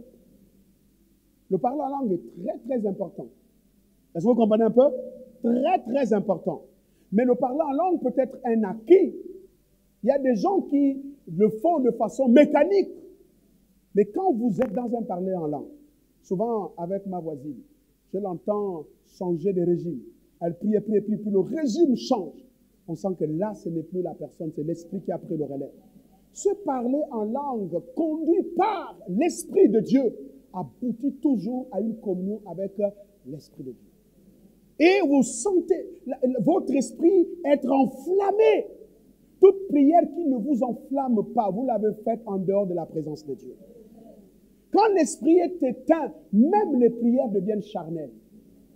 Est-ce que quelqu'un peut en dire Amen très fort? N'éteignez pas l'esprit. Moi, j'ai vu Moi, j'ai vu, c'était mon habitude, les veillées de méditation. Tu sens qu'il y a quelqu'un qui est en train de t'enseigner. Tu lis la Bible, mais ton esprit est ouvert. Pourquoi? Parce que l'esprit est à l'œuvre. Mais quand il est atteint et éteint, tu ouvres la Bible, tu ne comprends rien. Tu sens, tu grattes ici, tu es dans... Ça dit que c'est vraiment ennuyant pour toi. Pourquoi? Parce que ces choses se font par l'esprit. Et bon. Attendez, vous allez voir. Alléluia. Alléluia. Alors donc, pour régler le problème de l'esprit qui s'est éteint dans l'église, Alléluia, il faut donc ici s'engager dans la pentecôtisation. Il faut pentecôtiser l'église. C'est quoi la pentecôtisation de l'église? La pentecôtisation de l'église, c'est l'action qui conduit à transmettre l'esprit, à redonner l'esprit sa place, mais aussi à amener l'esprit à se mouvoir dans l'église locale. Je reprends. La pentecôtisation, c'est l'action de l'esprit dans l'église. Mais quand on dit pentecôtiser l'église, c'est entraîner tous les chrétiens à devenir des pentecôtistes, pentecôtisants. Est-ce que vous me suivez un instant? Ça veut dire que tout le corps, tout le corps local, toute l'église, il ne faut pas qu'il y ait des gens qui se cherchent. Tout le monde, en fait, devient un pentecôtiste, mais dans la perspective biblique, ça dit qui pentecôtise. Donc, il faut que vous compreniez que quand l'esprit est éteint, on peut réveiller l'esprit dans l'église. On peut réveiller l'esprit dans la vie de quelqu'un. D'ailleurs, je prophétise que ce que tu ne faisais plus, tu vas le faire. Je ramène au nom de Jésus les expériences anciennes. Tu es une femme de prière, mais alors que tu retrouves le puits de la prière, je n'entends pas vos amens ce soir. Il faut qu'il y ait des gens qui parlent la langue, qu'il y ait des gens qui, qui ont des révélations, qu'il y ait des gens qui prophétisent. Ça ne doit pas être rare dans l'Église. C'est possible. Pourquoi? Parce que c'est ce que Dieu a voulu. Comment donc pentecôtiser? Est-ce qu'on est ensemble? Alléluia. Alors, prenons le premier texte. Lorsque le, le, le leader remarque que les gens tombent dans le... Vous tombez dans le péché parce qu'il n'y a pas le feu. Les gens tombent dans le péché, les gens négligent la prière, les gens négligent la lecture de la parole de Dieu. C'est un manque de feu. Alléluia. Quand vous commencez à négliger toutes ces choses-là, eh bien, quand on sent que l'église maintenant, c'est là, on vient, on se... Re... Et les gens ne prêchent plus l'évangile. Et même quand ils vont prêcher l'évangile, ils ont du mal à gagner des âmes. Il faut l'évangélisation par le feu. Alléluia. Le témoignage de l'église, ce n'est plus ça. Le témoignage des croyants, ce n'est plus ça. C'est le manque. Vous savez, lorsque vous vous renseignez en rapport avec le réveil des années 80, c'était rare. Les évangélisations, euh, comment dirais-je, en foule. Tout chrétien était devenu un évangéliste. Il brûlait. Il y avait des chrétiens même. Il vient d'accepter Jésus aujourd'hui. Demain, il a secoué le quartier. Oh, Seigneur, que ce temps revienne dans l'église. Que l'ange qui nous a visités dans les années 80 revienne encore dans cette nation-là. Des jeunes filles qui sortaient du péché et qui refusaient le péché, préférant vivre même la précarité, mais ils avaient le dégoût du péché. Ça, c'est des pentecôtistes qui pentecôtisent. Aujourd'hui, on force les gens à craindre Dieu. On force les gens à devenir chrétiens. Mais à cette époque, on ne forçait pas. Un chrétien était en contact avec une personne. Dans les minutes qui vont suivre, la personne reçoit le don de l'esprit et sa vie change. Bethanie a secoué cette nation. Même ceux qui étaient, euh, comment dirais-je, au plus haut de l'appareil étatique entendaient parler de Bethanie. Mes amis, ces temps sont encore possibles. Alléluia. C'est cela. Pourquoi Dieu nous parle de ça? Parce que quand vous allez à l'hôpital, vous avez juste vos larmes aux yeux. Hein? Quand vous regardez tout ce qui se passe, ça et là. Pourquoi? Parce que le christianisme est en train de perdre sa saveur. La saveur du christianisme, c'est le don de l'esprit. Alléluia. Comment donc pentecôtiser une église? Et je vais dire à mes pasteurs, quand vous commencez une église, le problème de l'église aujourd'hui, c'est juste le problème des gens qui ont reçu plusieurs esprits. Il revient du christianisme céleste avec un esprit. On n'a pas enlevé cet esprit-là. On veut ajouter du nouveau vin dans les vieilles outres. Mais le cocktail est mortel. Vous comprenez? Vous savez, le problème avec nous, c'est que nous n'avons pas lu énormément les Écritures. Alléluia. Mais vous allez voir, on ne peut pas, ces gens-là auront du mal. Alléluia. Il faut donc procéder à la pentecôtisation de l'Église. Il faut que chaque chrétien pentecôtise. Chacun de nous doit être un feu. Vous savez, quand, les langues, quand le Saint-Esprit est descendu, la Bible dit qu'il y a eu des langues qui se posèrent comme des, des, des flammes, donc des flammettes sur chacun. En d'autres termes, chacun qui était dans la chambre haute était un feu. Dis à quelqu'un, chacun était un feu. Non, dis-le bien. Aujourd'hui, nous avons des problèmes avec les chrétiens. Nous avons des problèmes avec l'église d'aujourd'hui. Chacun n'étant plus un feu, vous devenez même de l'eau pour éteindre d'autres. Alléluia. Alors prenons, on va aller maintenant vite. Comment pentecôtiser? Et pourquoi? Nous allons expliquer ça. Prenons donc d'abord Actes des Apôtres, chapitre, chapitre 2, verset 38. Ensuite, nous allons prendre Actes des Apôtres, chapitre 10, verset 44 à 46. La première chose, pentecôtiser une église, c'est simplement ramener au centre de chaque activité, au centre de la vie de chaque croyant, la valeur du don de l'Esprit. Alléluia. Il ne faut pas aussi se mentir. Il y en a qui, qui ne prophétisent pas par l'Esprit de Dieu. hein. Beaucoup. On va voir ça dans la suite. Il y en a qui sont ici. leur vie ne commence pas avec le don de l'Esprit. Et donc, pour pentecôtiser, nous allons, nous devons ramener au centre de l'Église et de chaque croyant la valeur du don de l'Esprit. Donc, je disais, Actes des Apôtres, chapitre, la Bible dit, Pierre leur dit, repentez-vous. La première chose commence par l'évangile. La repentance. Dites avec moi, la repentance. Et que chacun de vous soit baptisé au nom de Jésus-Christ pour le pardon de vos péchés. Et ensuite, et, dites avec moi, et, vous recevrez le don du Saint-Esprit.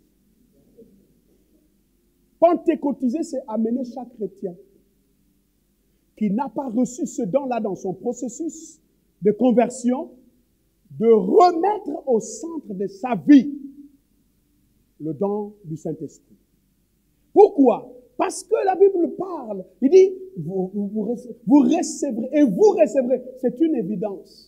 C'est-à-dire que ce n'est pas que, oh, voilà, Dieu a menti. Non, vous recevrez, c'est une évidence, le don du Saint-Esprit. Regardez le verset qui suit. Le verset qui suit, je crois le verset 39. Le verset 39, car la promesse est pour vous. Dieu a fait la promesse. Pour vos enfants, dis avec moi, pour nous, pour nos enfants, et pour tous ceux qui sont au loin, en aussi grand nombre que le Seigneur notre Dieu les appellera. Ça veut dire que la règle ne change pas, y compris les apôtres, les enfants des apôtres, les, juifs et leurs enfants, y compris nous et ceux qui viendront plus tard. Tout commence avec le don de l'Esprit. Dis avec moi, tout commence avec le don de l'Esprit. C'est pourquoi la suite me dit, ici, regardez la suite. La suite dit, et par plusieurs paroles, il les conjurait et les exhortait, disant, sauvez-vous de cette génération perverse. Alléluia. Donc, il nous faut admettre que l'Église ne peut être bonne, forte, solide, que là où on a mis d'abord l'accent sur la réception du don de l'Esprit. Ce don-là, vous allez voir. Regardons, prenons maintenant Acte des Apôtres. Alléluia. Il y a des chrétiens qui sont là depuis et se disent, mais j'ai déjà reçu. Moi, j'avais déjà... Bon, c'est ce qu'on va voir. En réalité, tous, autant que nous sommes, si nous avons reçu, c'est bien. Mais ça doit commencer par là. Regardons le verset, il dit Acte des Apôtres chapitre 10, verset 45. Comme Pierre prononçait encore ces mots, il prononçait quoi? Ces mots. Le Saint-Esprit descendit sur tous ceux qui écoutaient la parole de Dieu. Comment on reçoit le don de l'Esprit, mais par l'écoute sérieuse de la parole de Dieu?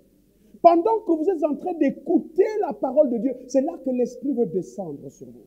Mais il y a des gens, le, comment dirais-je, l'ennemi les amène à la distraction. Ils pensent à plusieurs choses, alors que la prédication ou l'enseignement de la parole de Dieu est un moment de transfert. Alléluia. Mais pendant qu'ils étaient en train d'écouter la parole de Dieu, la Bible dit quoi? Le Saint-Esprit descendait sur eux, sur tous, tous, dites avec moi tous, tous ceux qui écoutaient la parole de Dieu. Alors maintenant, le verset 45, tous les fidèles circoncis qui étaient venus avec Pierre furent étonnés de ce que le don du Saint-Esprit, dites avec moi le don, nous sommes toujours dans ce mot-là. Donc ça veut dire que le Saint-Esprit est un don de Dieu pour nous. Est-ce que vous me suivez un instant? Donc c'est le don de, de Dieu. Dis à quelqu'un, le don qu'on a reçu là, ce don-là, c'est le Saint-Esprit. C'est une personne divine. Mais c'est le don de Dieu. Alléluia. Donc ils disent qu'ils ont reçu le don de Dieu, c'est-à-dire le Saint-Esprit. Le don du Saint-Esprit était aussi répandu sur les païens. Et regardons la suite et enfin, car ils attendaient, comment ils ont su qu'ils ont reçu le don de Dieu? Parce qu'on les attendait parler en langue et glorifier Dieu. En d'autres termes, ils ont parlé en langue. C'est là qu'ils se sont rendus compte qu'ils viennent de recevoir le don de qu'on appelle le Saint-Esprit. Est-ce que vous comprenez un peu? Alors, première question. Qui a déjà reçu le don du Saint-Esprit?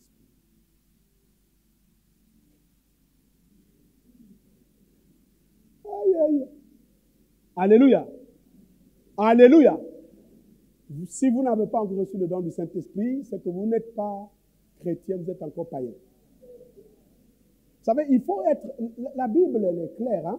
Ce soir, je voudrais être le plus clair possible. Alors qui a déjà reçu le don du Saint-Esprit? Je vois, comme on était à l'école, hein, tu, tu lèves un peu. Les gens hésitent. Mais c'est pas grave. Je suis juste en train de vous servir et vous comprendrez. Maintenant, quand nous avons le don du Saint-Esprit, mais ce n'est pas fini. Dis à quelqu'un, ce n'est pas fini. Alléluia. Ce n'est pas parce que le don du Saint-Esprit, vous allez comprendre maintenant, le don du Saint-Esprit a un rôle. Le premier rôle du don du Saint-Esprit. Si vous avez reçu le don de l'Esprit, le baptême dans le Saint-Esprit pour parler comme des pentecôtistes, il y a oui, c'est vrai qu'il y a le parler en langue, nous allons voir ça, mais il y a encore beaucoup de choses que nous devrons comprendre. Alors, ouvrons ensemble 1 Corinthiens chapitre 12, versets 12 et 13. 1 Corinthiens chapitre 12, versets 12 et 13. On va aller vite. Alléluia. Dis avec moi le don de l'esprit. Vous savez, parfois, quand vous traînez là, pour aller à l'église, vous êtes lourd.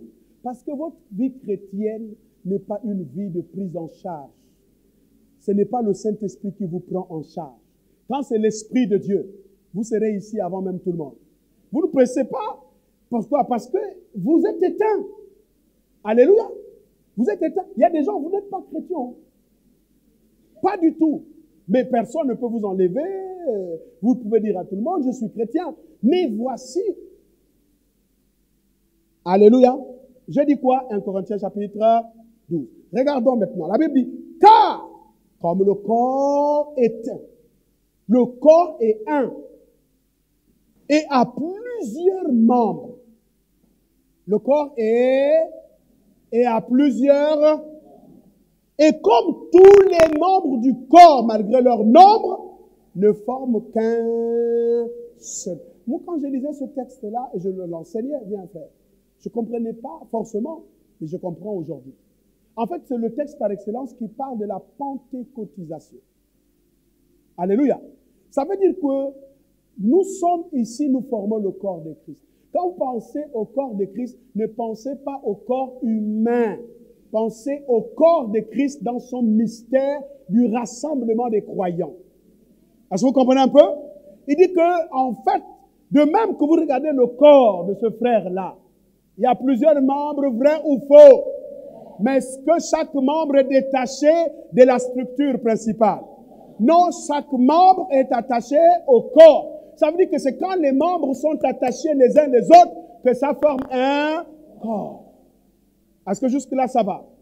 Ça veut dire que Paul, c'est ce qu'il est en train de dire. Il dit, car comme le corps est un et a plusieurs membres, et comme tous les membres du corps, malgré leur nombre, ne forment qu'un. Ne forment qu'un. Ne forment qu'un. Donc nous sommes les membres, nous, nous, nous. Ça veut dire toi, moi et tout le monde. Nous sommes les membres du corps de Christ. Et donc, si on prend l'exemple sur ça, c'est une métaphore. Ça veut dire quoi? Ça veut dire que vous devrez savoir si l'Église va bien quand vous regardez à la lumière de la métaphore du corps. Alléluia.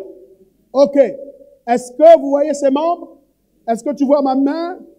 Alléluia. Il voit. Alléluia. Ouvre un peu la bouche. Il ouvre un peu. Parce que s'il ouvre trop, on ne sait jamais. Alléluia. Lève un peu la main. Soulève le pied. Est-ce vous me suivez un instant? Est-ce que ce corps-là est normal? Il est en bonne santé. Pourquoi? Parce que les membres sont fonctionnels. Est-ce que vous comprenez un peu? Maintenant, si en revanche, il a des membres, certains ne fonctionnent pas. La Bible dit que quand un membre est malade, tout le corps est... C'est quoi l'objectif du Seigneur? C'est que tous les membres du corps fonctionnent. Vous ne m'avez pas saisi. C'est que tous les membres du corps fonctionnent. Peu importe ta fonction, mais quand quelqu'un est à sa place, alléluia, il joue un rôle important il sera récompensé en fonction de la place qu'on lui a donnée. Ne dis jamais que je suis utile à rien. Si tu es membre du corps de Christ, c'est que tu as un rôle à jouer dans le corps. Des gens qui continuent à s'asseoir, vous n'êtes pas utile et vous ne glorifiez pas celui qui vous a donné et la fonction et celui qui vous a créé. Est-ce que vous comprenez un peu? C'est pourquoi la pentecôtisation, c'est que chaque membre du corps soit fonctionnel. S'il y a des prédicateurs, c'est qu'il y a aussi d'autres qui doivent faire quelque chose d'autre en fonction du rôle qu'ils doivent jouer. Que des gens fassent de la libéralité. D'autres doivent diriger les cultes. Il y a d'autres qui doivent faire...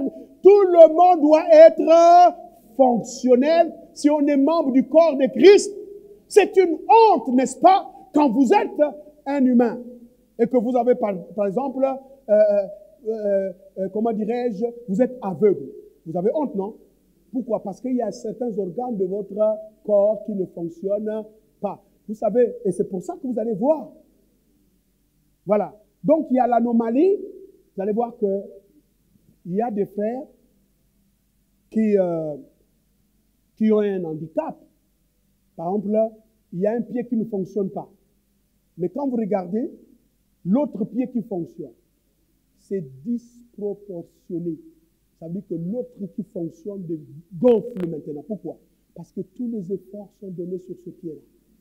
Arrêtez de vous appuyer sur la spiritualité uniquement des pasteurs. Chacun doit faire son travail.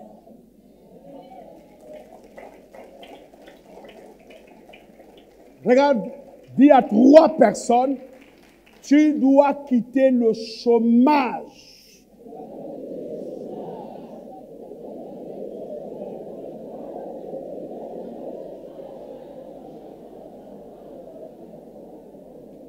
Donc, vous allez répondre, le bras, le bras ne peut pas dire pourquoi Dieu m'a créé bras. Alléluia. Vous savez, parfois, c'est là que vous voyez des choses qui ne sont pas correctes. Alléluia. Vous voyez, si maintenant le bras dit, pourquoi moi aussi je ne suis pas chaussé? Pourquoi on ne me met pas les chaussures comme le pied? Alléluia. C'est que le bras ne comprend pas que ce qui est intéressant pour lui, la main doit comprendre qu'on doit l'habiller des, des- des autres ornements. Donc il y a la bague, il y a la montre, et ça, ça fait la beauté. Vous comprenez un peu? Maintenant, il y a des gens comme le diable essaie d'inspirer, les gens qui mettent la bague sur les orteils n'ont rien compris. Mais c'est ça, c'est fait. Et puis vous allez voir maintenant euh, le pied qui dit, pourquoi moi aussi on ne me met pas les lunettes? C'est pour ça que les gens veulent devenir beaucoup. Regardez aujourd'hui, au kilomètre carré, vous trouvez des prophètes. Tout le monde devient prophète, j'en parlerai.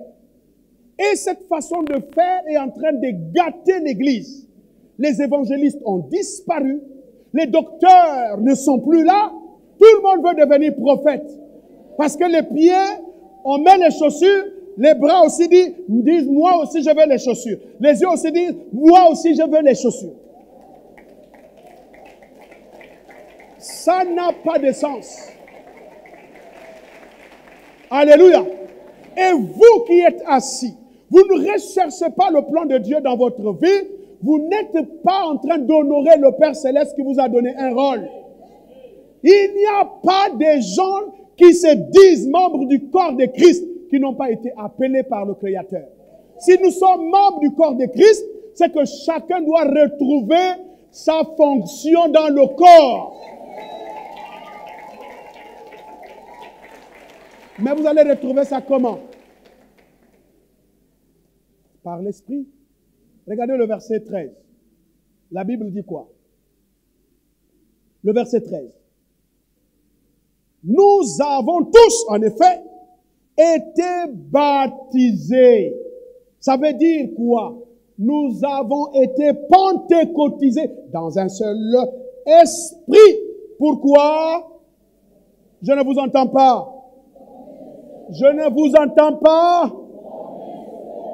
Le fait n'est pas de former un seul corps. On peut former un seul corps, mais il y a des infirmités dans le corps. Est-ce que vous comprenez un peu? On doit former un corps solide. Un corps où chaque membre joue son rôle. C'est pourquoi personne ne doit dire reçois l'Esprit Saint à ma place. Ça n'a pas de sens. La première chose, la première forme de, de, de la pentecôtisation, c'est rendre chacun de nous conscient, un, du rôle qu'il doit jouer dans le corps, deux, c'est que l'esprit, chacun doit le recevoir. Une église forte est une église où tout le monde est en puissance, où tout le monde est rempli du Saint-Esprit. C'est ça une église forte. Pourquoi c'est nécessaire? Parce que c'est le baptême dans le Saint-Esprit. Encore, vous voulez, c'est le Saint-Esprit qui nous introduit dans le corps. Là, pourquoi est-ce que Paul prend la métaphore? Je ne rentre pas dans l'histoire où il y en a qui disent, est-ce que, euh, le, le- le- comment dirais-je, on est baptisé dans le Saint-Esprit pour former un corps, donc ceux qui ne sont pas baptisés dans le Saint-Esprit ne forment pas un corps? Non. Nous sommes en train de dire un corps dynamique de Christ. C'est d'abord sur le plan du service. Ça veut dire que chaque enfant de Dieu doit servir Dieu. Vous m'avez pas entendu. Il dit, chaque enfant de Dieu doit servir Dieu.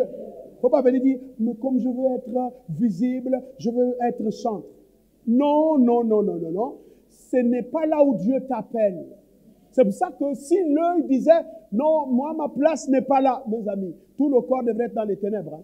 Donc, chaque membre du corps est utile. Je veux que tu répètes ça à trois personnes. Chaque membre du corps est utile.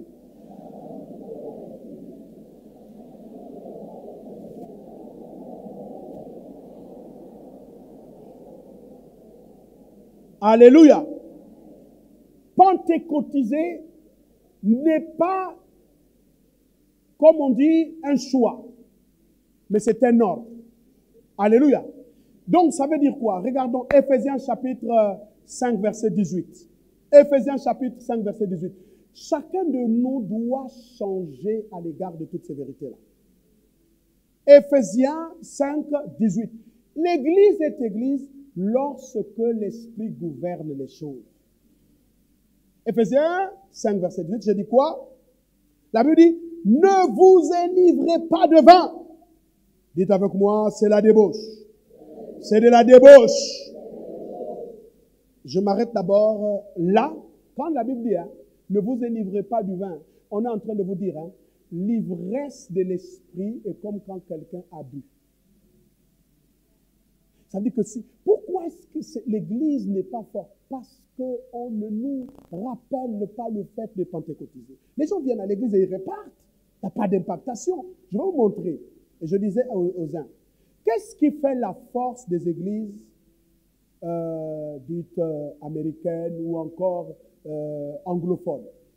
C'est leur sens de la recherche de l'esprit. Vous allez voir, par exemple, euh, comment est-ce qu'on appelle euh, Béni est en train de rendre ministère. Quand vous suivez bien, il y a même des prêtres catholiques qui viennent assister. Ils viennent là pourquoi? Pour recevoir l'impactation. Je vais vous expliquer ça. Et c'est ça, la pentecôtisation. C'est que les, les disciples faisaient. C'est qu'ils insistaient sur la plénitude de l'esprit. Est-ce que vous comprenez un peu? Parce qu'il n'y a que ça qui peut rendre ta vie chrétienne et le service différent.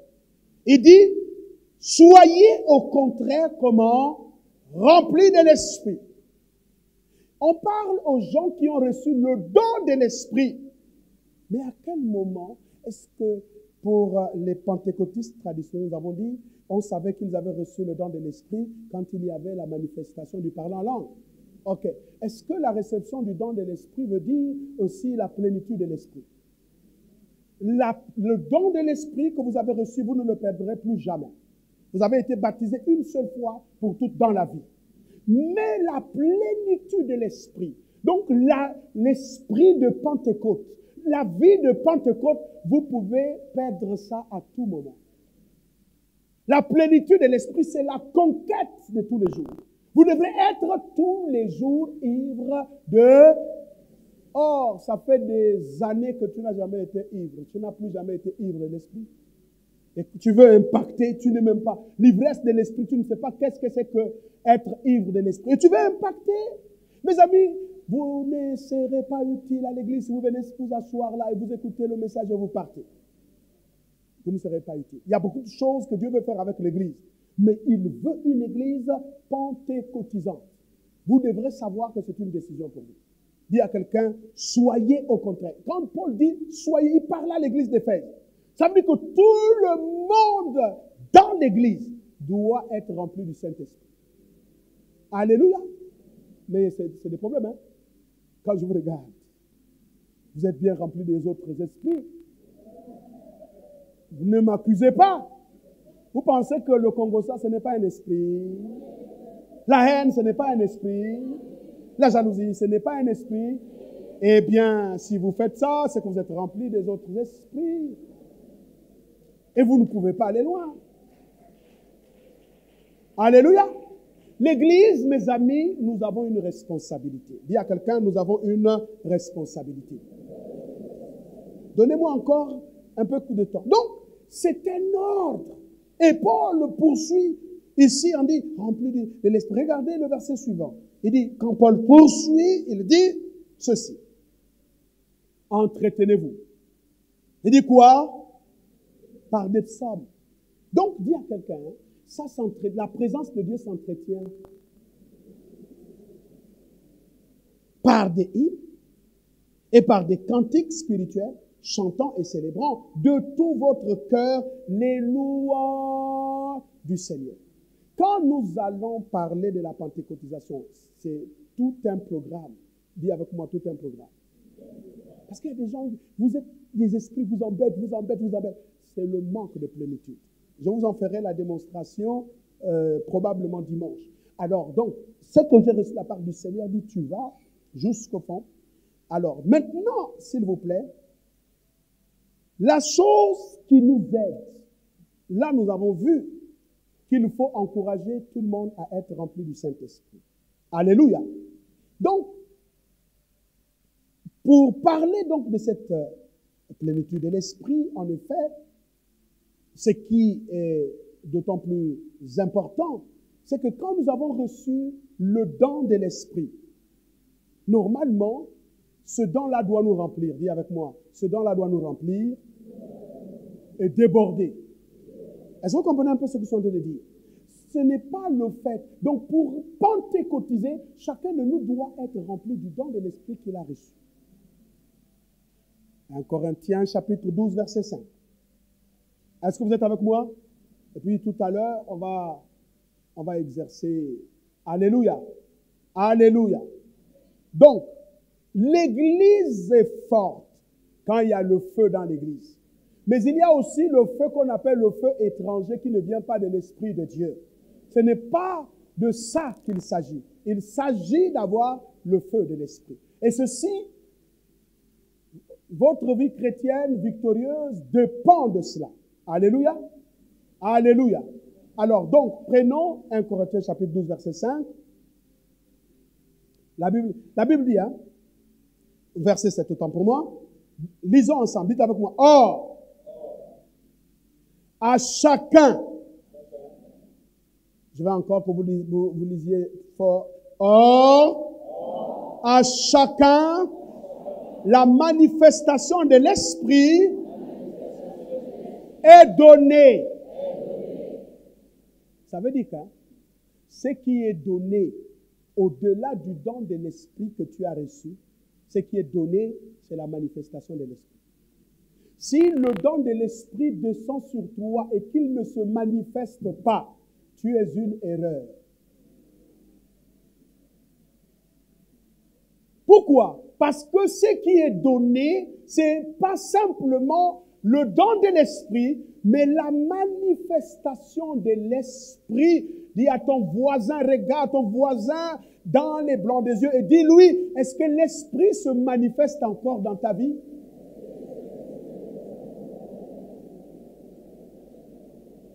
Il y a des églises qui ont des problèmes avec la manifestation de l'esprit.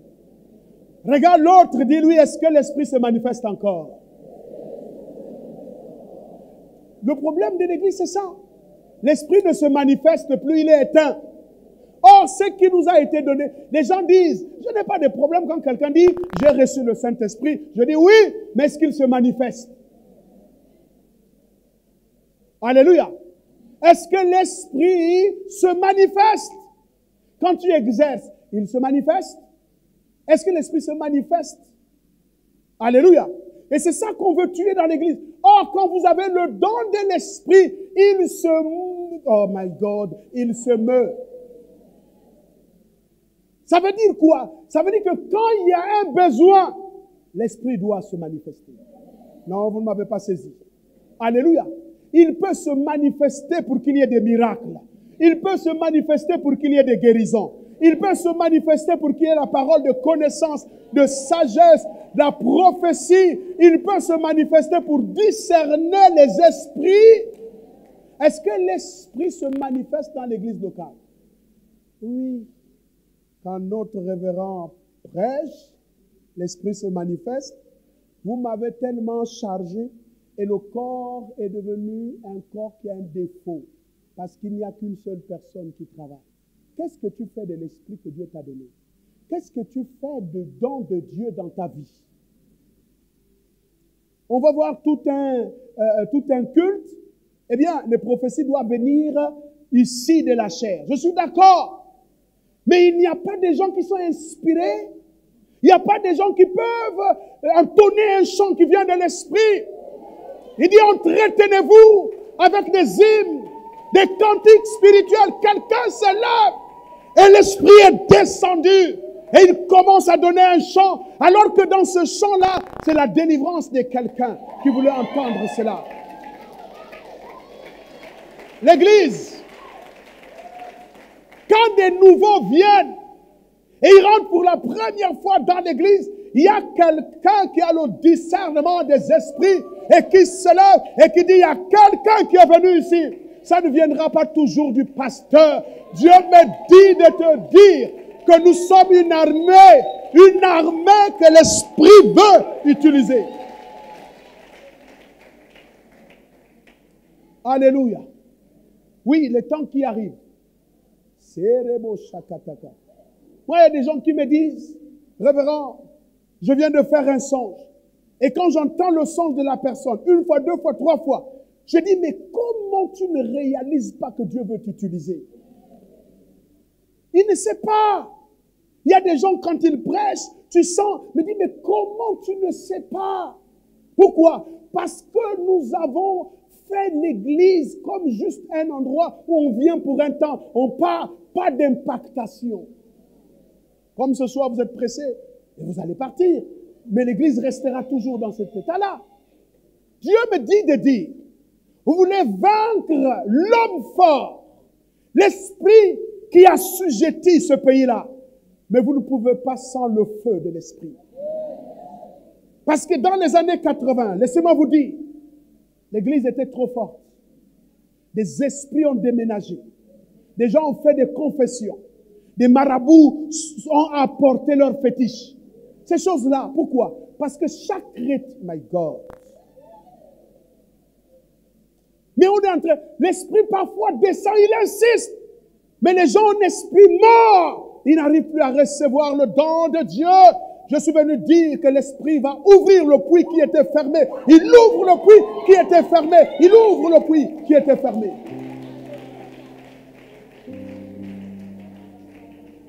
L'église, c'est pas l'amusement. L'église, c'est en même temps un organisme. En même temps, c'est une organisation. L'organisme vit. Une organisation, on peut faire beaucoup d'organisations, des programmes, mais ça ne remplacera jamais l'organisme. Un organisme est un organisme vivant quand il vit. Alléluia. Des temps vont arriver. Je disais que le réveil, vous devrez provoquer le réveil.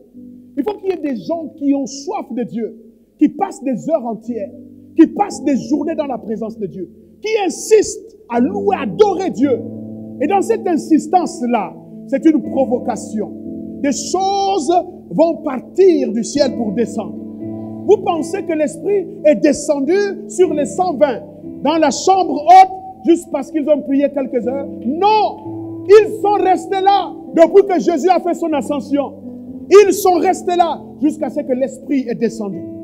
Mesdames et messieurs, est-ce que vous savez que Dieu veut revêtir les gens des manteaux exceptionnels Dieu n'a pas renoncé à la promesse que le Gabon sera le centre où toute chose sur le plan spirituel ira. Dieu va vous enrichir. Dieu va vous apporter beaucoup de choses. Mais vous devrez avoir un esprit en puissance. Il y a des gens, même dans vos lieux de travail, quelque chose se passera. Quelque chose se passera. Je suis venu déclarer à votre sujet que quelque chose se passera. Nous devrons nous lever. Nous devrons nous réveiller. Pourquoi? Parce que cette église-là, Dieu ne la reconnaît pas. Dieu ne la reconnaît pas. Alléluia. Il faut pentecôtiser. Je sais que l'Esprit est là. Mais aussi, je voudrais justement que vous compreniez. Est-ce que vous savez? Aïe, aïe, aïe, aïe, aïe, aïe.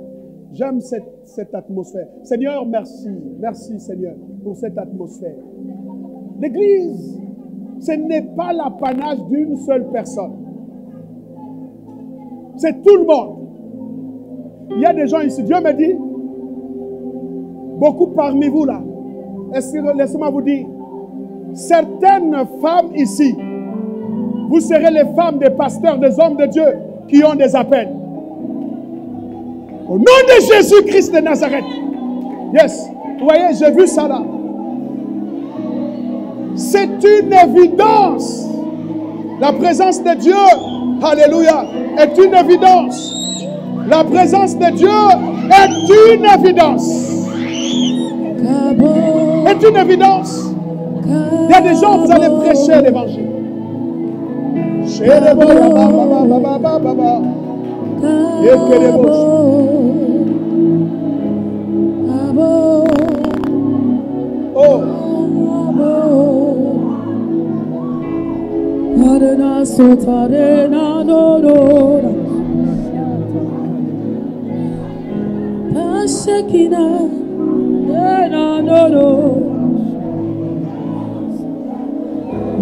Seigneur Je vois la Shekinah.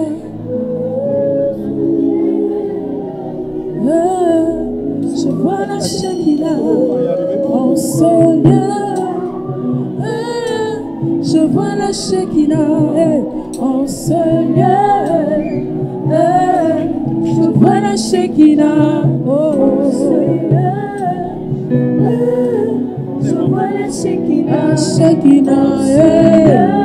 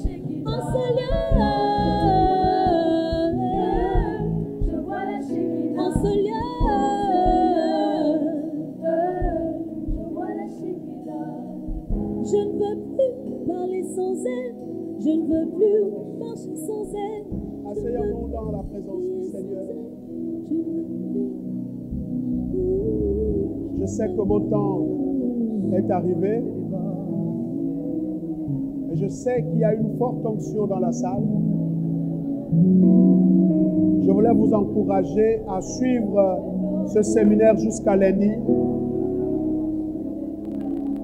parce que Dieu a un rendez-vous avec chacun de nous. Quelle grâce! Quelle grâce! Hey! Hey!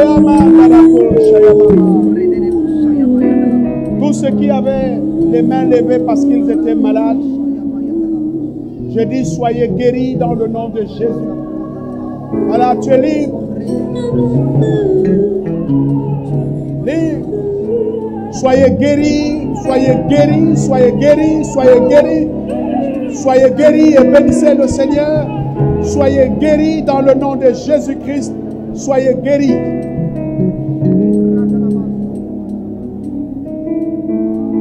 Seigneur, notre Dieu, nous a. Je veux, je prierai pour tous ceux qui ont des appels et pour toute l'Église. Mais je vais respecter le temps qu'on m'a donné. Alléluia. Ne manquez pas la retraite de lundi, elle sera capitale. Et dimanche, nous allons continuer.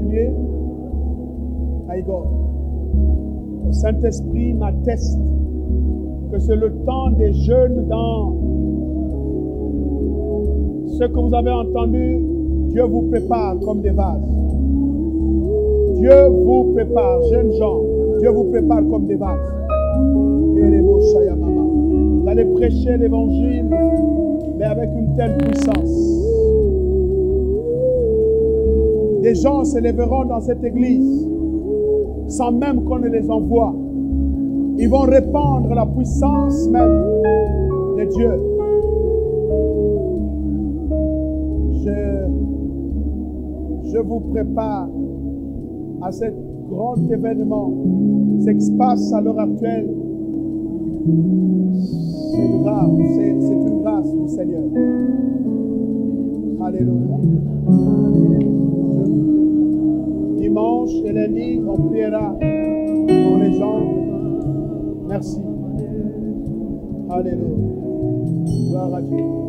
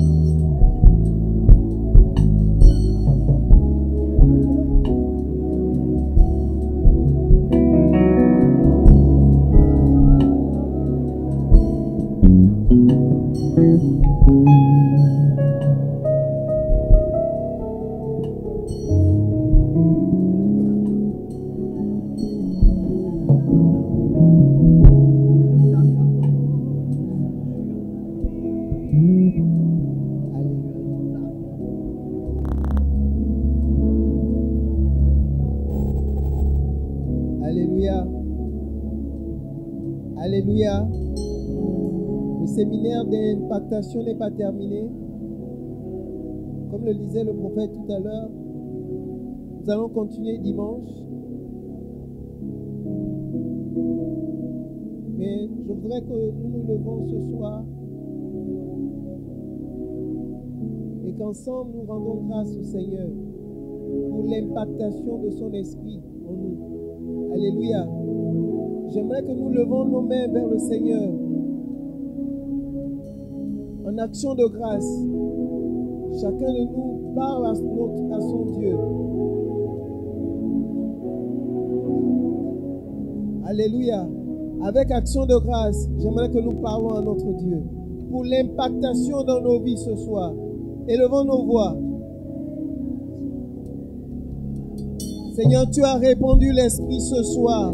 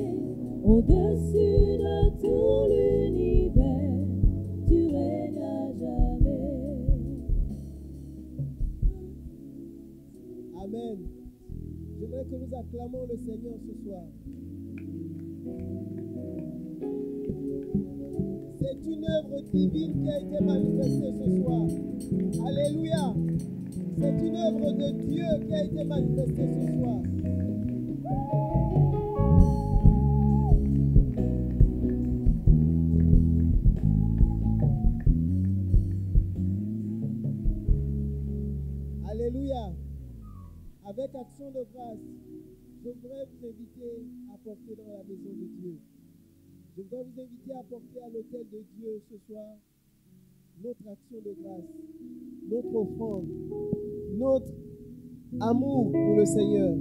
J'aimerais que vous apportiez sur cette corbeille votre action de grâce par rapport à ce que Dieu a fait pour nous ce soir, par rapport à l'action de grâce.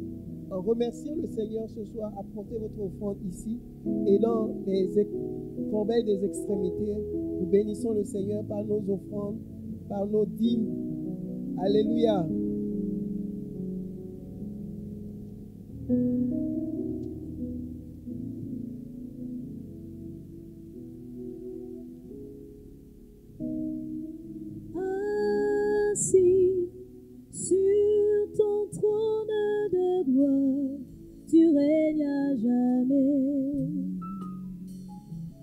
Élevé au-dessus de tout l'univers, tu règnes à jamais. Assis sur ton trône de gloire, tu règnes à jamais. Élevé au-dessus de tout l'univers,